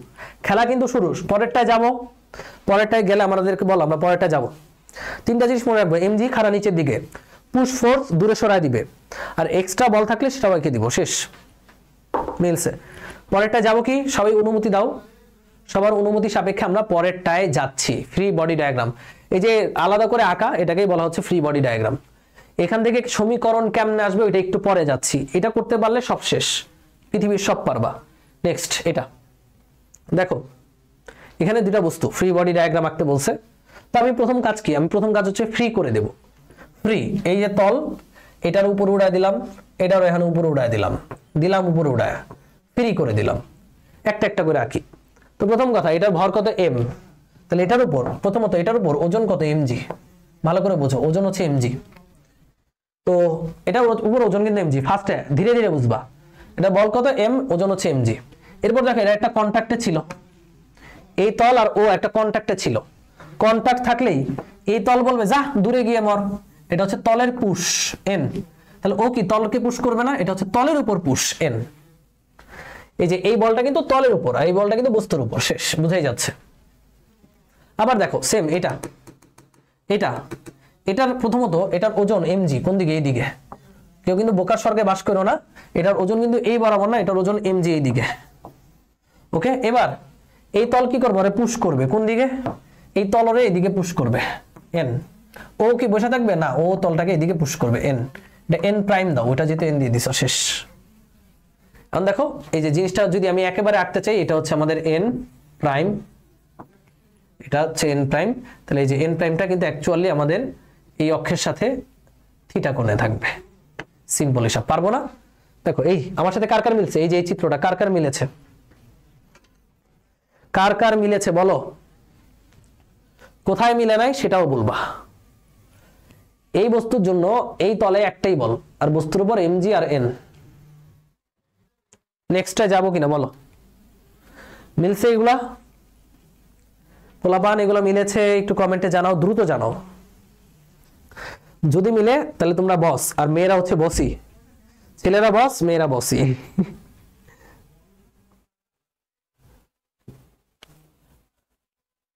এই যে, এখান থেকে এটা আঁকতে পারছ কি? জাহাপনা, আপনারা কি এই চিত্র থেকে এই চিত্র আঁকতে পারছেন? বডিটাকে ফ্রি করব ফ্রি করে ডায়াগ্রাম আঁকবো। শেষ। কেল্লা ফতে। ফার্স্টে এমজি রেখে দিমু। তারপরে এইটা, এটাকে পুশ দিবে, আর কোনো কিছু নাই। কেউ যদি আবার এটা চিন্তা করে, ভাইয়া, এই এমজি ওর উপর গিয়ে লাগবে।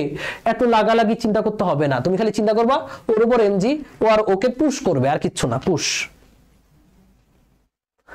এরপরে নেক্সট এইটা, জোস জিনিস ওকে এইখানে এইখানে রেডি এই চিত্র নিয়ে পোলাপানে এত প্যারা খায়।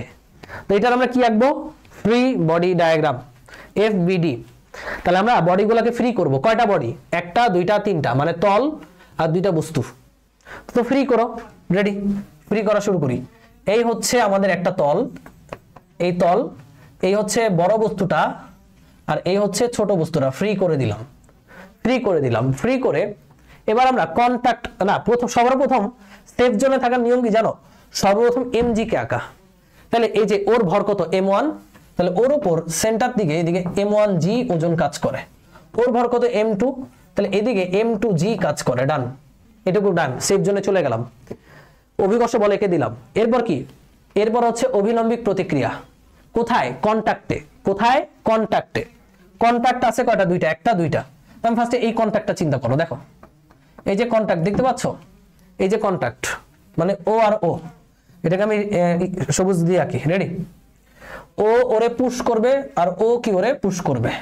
তাহলে এদিকে হচ্ছে পুশ এই যে, এই দুজন এই দুজন একে অপরকে, যা, দূরে যা যা, দূরে যা, পুশ পুশ পুশ। তাহলে এটা মনে করো এন ওয়ান আর ও এদিকে পুশ খাবে, এটা হচ্ছে এন ওয়ান ডান গেল। এখানে আর কোনো ঘটনা আছে নাই? এবার কোথায়? এবার আসব নিচের তলে যে এখানে, এই যে এখানে এখানে। এখানে কে কে আছে? উপরের চিন্তা বাদ এখন খালি এই যে এই কন্ট্যাক্টটা চিন্তা করব। এই কন্ট্যাক্টটা আছে এইটা আর এইটা এই যে মনু আর এই মনু।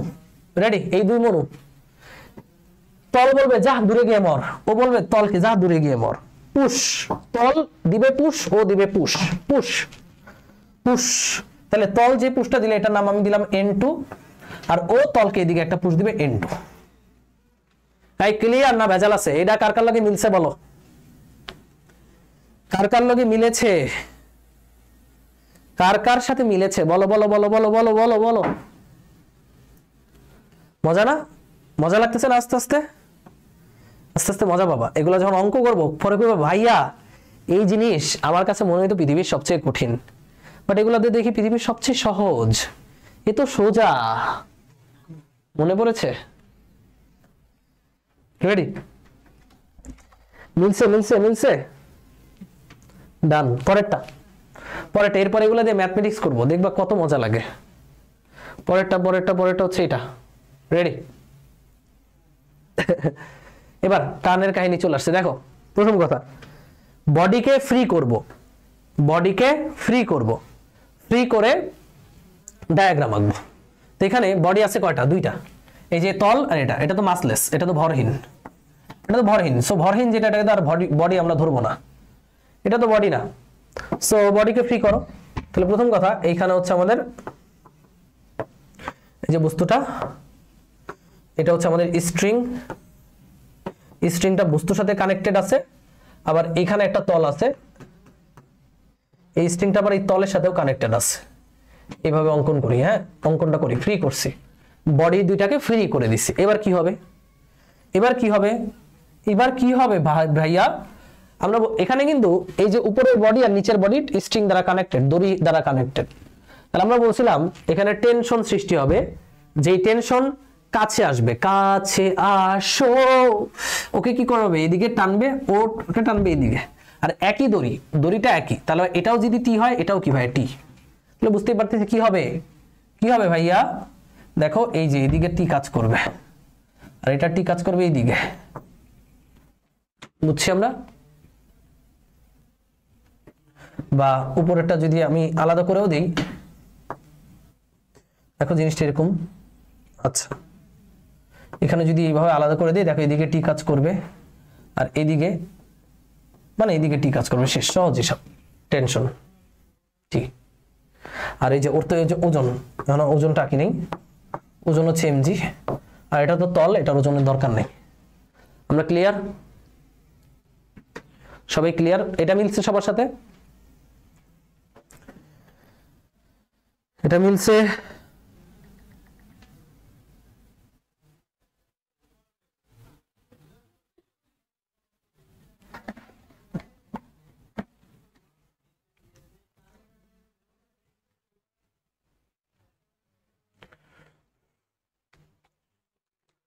মিলছে নেক্সট এটা। দেখো, ভালো করে বোঝো। যেখানে দুইটা বস্তু, একটা হচ্ছে ছোট বস্তু আর একটা হচ্ছে বড় বস্তু আর একটা তল, তিনটা জিনিস। মোটামুটি আমাদের তল ক্যালকুলেট করতে হয় না অঙ্কের ক্ষেত্রে, তারপরে তলটা ধরে নিচ্ছি, তিনটা। একটা, দুইটা, তিনটা। তাহলে বডিগুলোকে কি করব? ফ্রি করব ডায়াগ্রাম আঁকবো। ফ্রি করো। রেডি প্রথমত এটা, তারপর হচ্ছে এটা, তারপর হচ্ছে এই তল। এই যে ফ্রি করলাম, এবার ডায়াগ্রাম আঁকবো রেডি ডায়াগ্রাম শুরু। তাহলে প্রথমে আমরা এমজি গুলো আঁকি, সেটা ভালো। এটার ওজন, এই যে দিকে খারা নিচের দিকে। এটা ওজন খাড়া নিচের দিকে স্কেল দিয়ে খাড়া নিচের দিকে। ওজন এমজি এটার ওজন খাড়া নিচের দিকে এমজি এটা তো আর ওজন না, এটা তো তল। এরপর কন্টাক্ট এখানে একটা কন্টাক্ট ছিল। তো পুশ পুশ এটা হচ্ছে অবিলম্বী প্রতিক্রিয়া বল। পুশ এন ও কি এদিকে? পুশ এন দেখো, এই পুশগুলো কিন্তু একদম এই যে দিকে এন পুশ মানে ও ওকে পুশ করছে ও ওকে পুশ করছে। টান এবার, তল আর এই যে লাল গোলাপিটা, তল আর গোলাপির কন্টাক্ট কিন্তু এই যেটা এই যে এই যে কন্টাক্ট এই কন্টাক্টে তল ওকে পুশ করবে এন প্রাইম আর ও এটাকে এদিকে পুশ করবে। এন প্রাইম ওকে কারণ এই যে এটা তো স্পর্শ তল জাস্ট তুমি খেয়াল রাখবা, এই এন প্রাইমটা স্পর্শ তলের উপর লম্ব কিনা। এই যে এইটার উপর লম্ব কিনা ইয়েস এইটার উপর লম্ব। কার কার সাথে মিলছে? তারা সবাই হাত তুলো। হাত তুলে জানাও যে ভাইয়া মিলেছে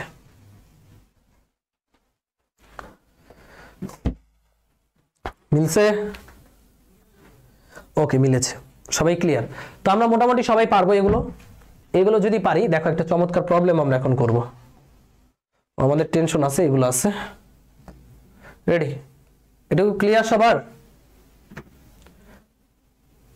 এই সবাই পারব এটা? এরপরে এটা দেখো।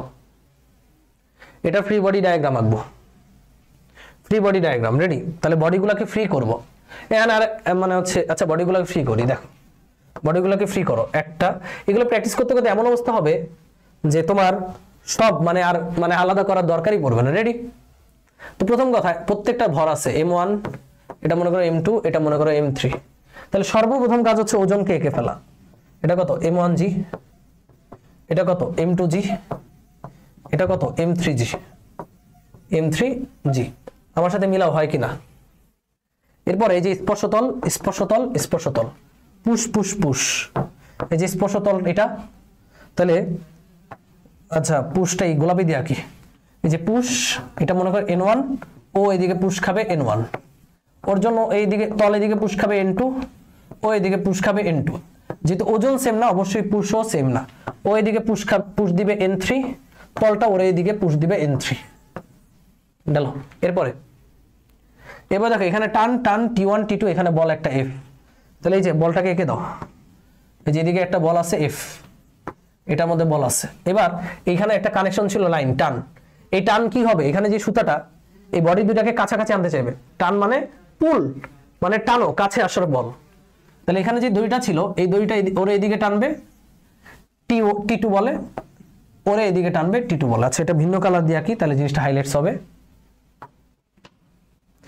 এখানে যে দড়িটা ছিল, দড়িটাকে ভাগ করে দিলাম, মাঝখান দিয়ে, এটা এদিকে টানবে টি টু এটা এদিকে টানবে টি টু কারণ টান মানেই কাছাকাছি আনার ফোর্স দুইটাকে কাছাকাছি আনতে চাইবে। এই একটা অংশে টান টি টু দেখো, দড়ি সেম টান সেম দড়ি ভিন্ন। এখন কিন্তু দড়িটা এম টু আর এম ওয়ানের মধ্যে, তার ভিন্ন দড়ি। ভিন্ন দড়ি। যখনই মাঝখানে বসতে আসবে যেতে হবে দড়ি ভিন্ন হয়ে গেছে। এখানে টান কত? টি ওয়ান তার মানে ওর উপর এদিকে টান হচ্ছে টি ওয়ান আর ওর উপর এদিকে টান কত? টি ওয়ান শেষ। কার কার লগে মিলছে? বলো।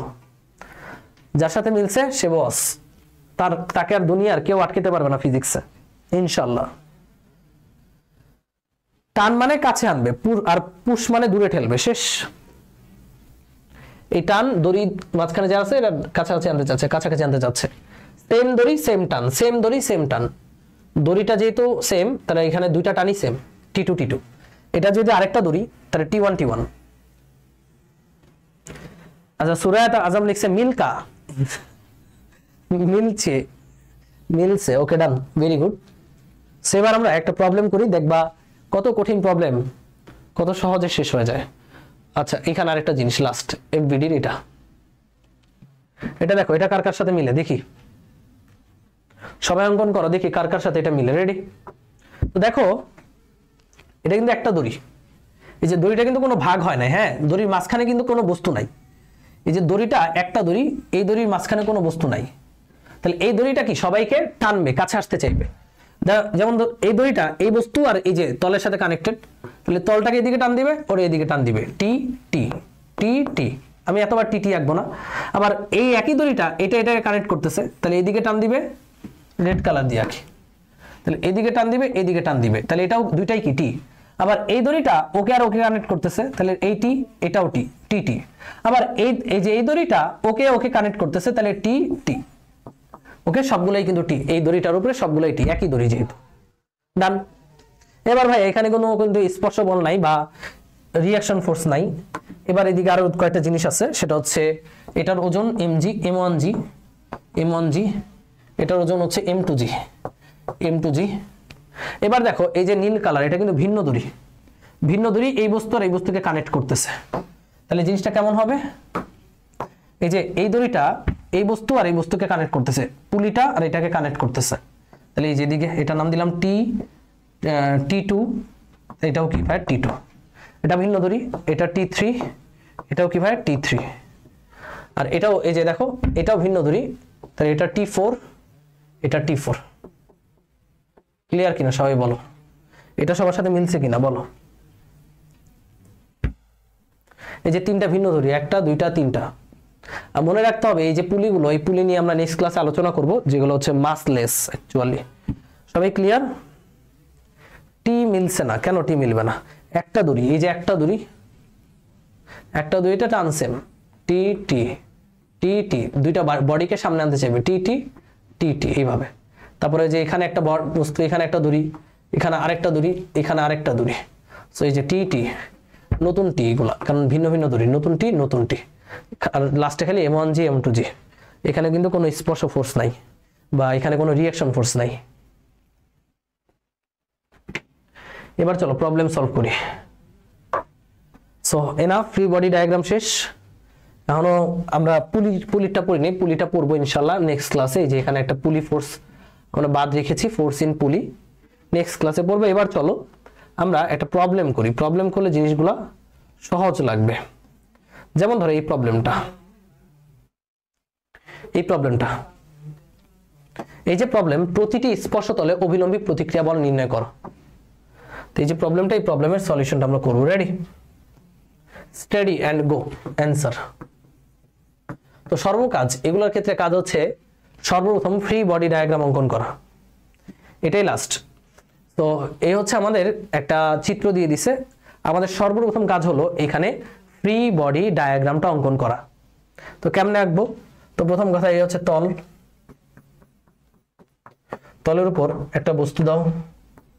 এটা এক নম্বর বস্তু, এটা দুই নম্বর বস্তু, এটা ধরো তিন নম্বর বস্তু ফ্রি করে দিলাম।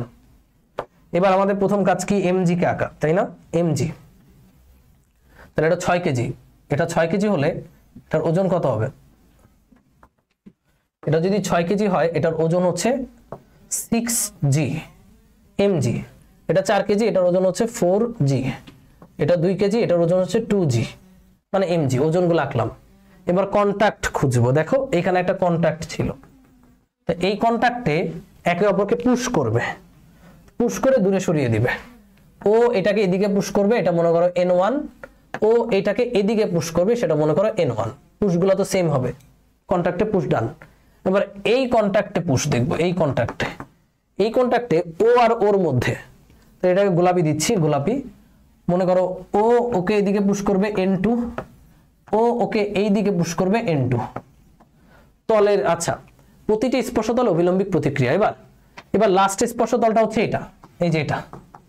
এই স্পর্শতলে ও আর ও ছয় কেজি আর নিচেরটা। রেডি কি হবে?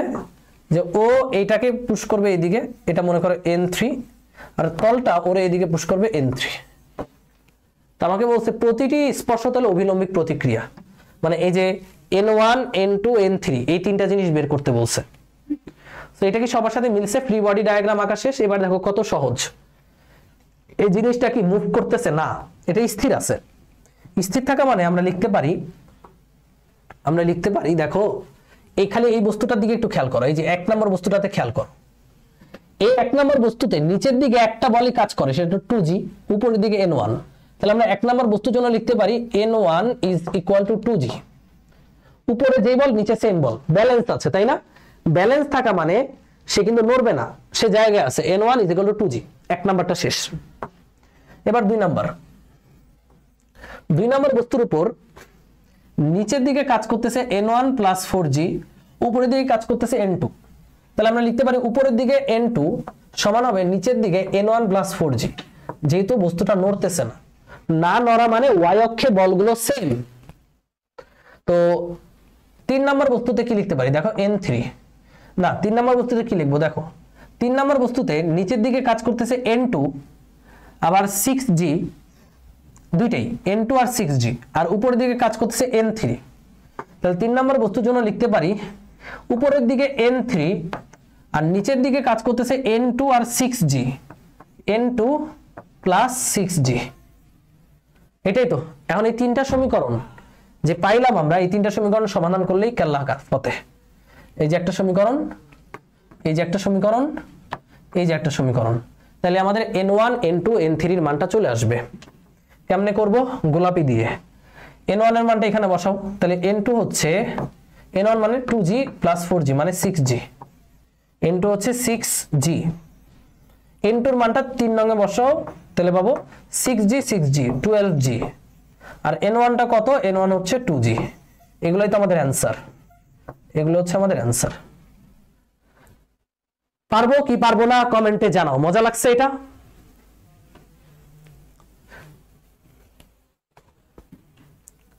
এগুলো হচ্ছে আমাদের অ্যান্সার ওই যে অবিলম্বী প্রতিক্রিয়া নির্ণয় করতে বলছে না? তারপর N one N two N three তিনটা তলে তিনটা তো অবিলম্বী প্রতিক্রিয়া। Two G six G twelve G পারব কি পারব না বলো? তো এই হচ্ছে আমাদের অবিলম্বী প্রতিক্রিয়া। অনেক মজার জিনিস, এরপর দেখো আরও অনেক কিছু আছে। এটা আছে এটা আছে এটা আছে এটা আছে এইটা আছে। এইটা আছে এইটা আছে এইটা আছে এটা আছে। মানে অসংখ্য অঙ্ক প্রবলেম নিয়ে আজকে কিন্তু আসছিলাম আমরা। আমি জানি যে সব সলভ করানো যাবে না আজকে। তো নেক্সট ক্লাসে আমরা শুরু করব এখান থেকে।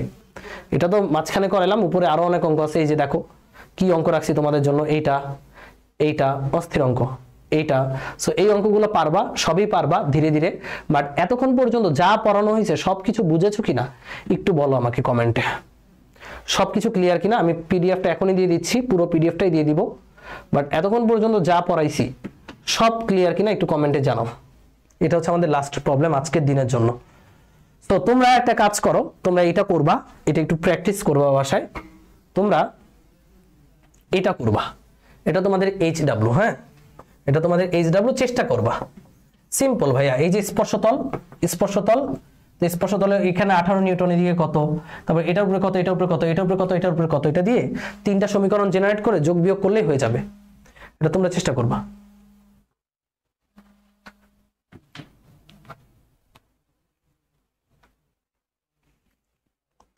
Okay so well done so সবাই যদি এটুকু পারো বেস্ট উইসেস ফর ইউ এটা চেষ্টা করব, আর উপরে যে মতগুলো করাইছি সেগুলো তো করবাই। আজকের ক্লাসটা কেমন হলো সেটা বন্ধুদেরকে অবশ্যই জানাতে ভুলো না। আর পুরো ক্লাসটা অবশ্যই দেখবা, যেখানে একটু খটকা লেগেছে সেটা আবারও দেখবা, তাহলে ক্লিয়ার হয়ে যাবে। সো নেক্সট ক্লাসে পড়াশোনা হবে অস্থির লেভেলের প্রবলেম সলভ হবে ফ্রি বডি ডায়াগ্রামের আরও অসাম অসাম ম্যাথ করব আমরা। টিল দেন সবাই ভালো থাকো, সবার জন্য শুভকামনা লাভ ইউ অল টাটা।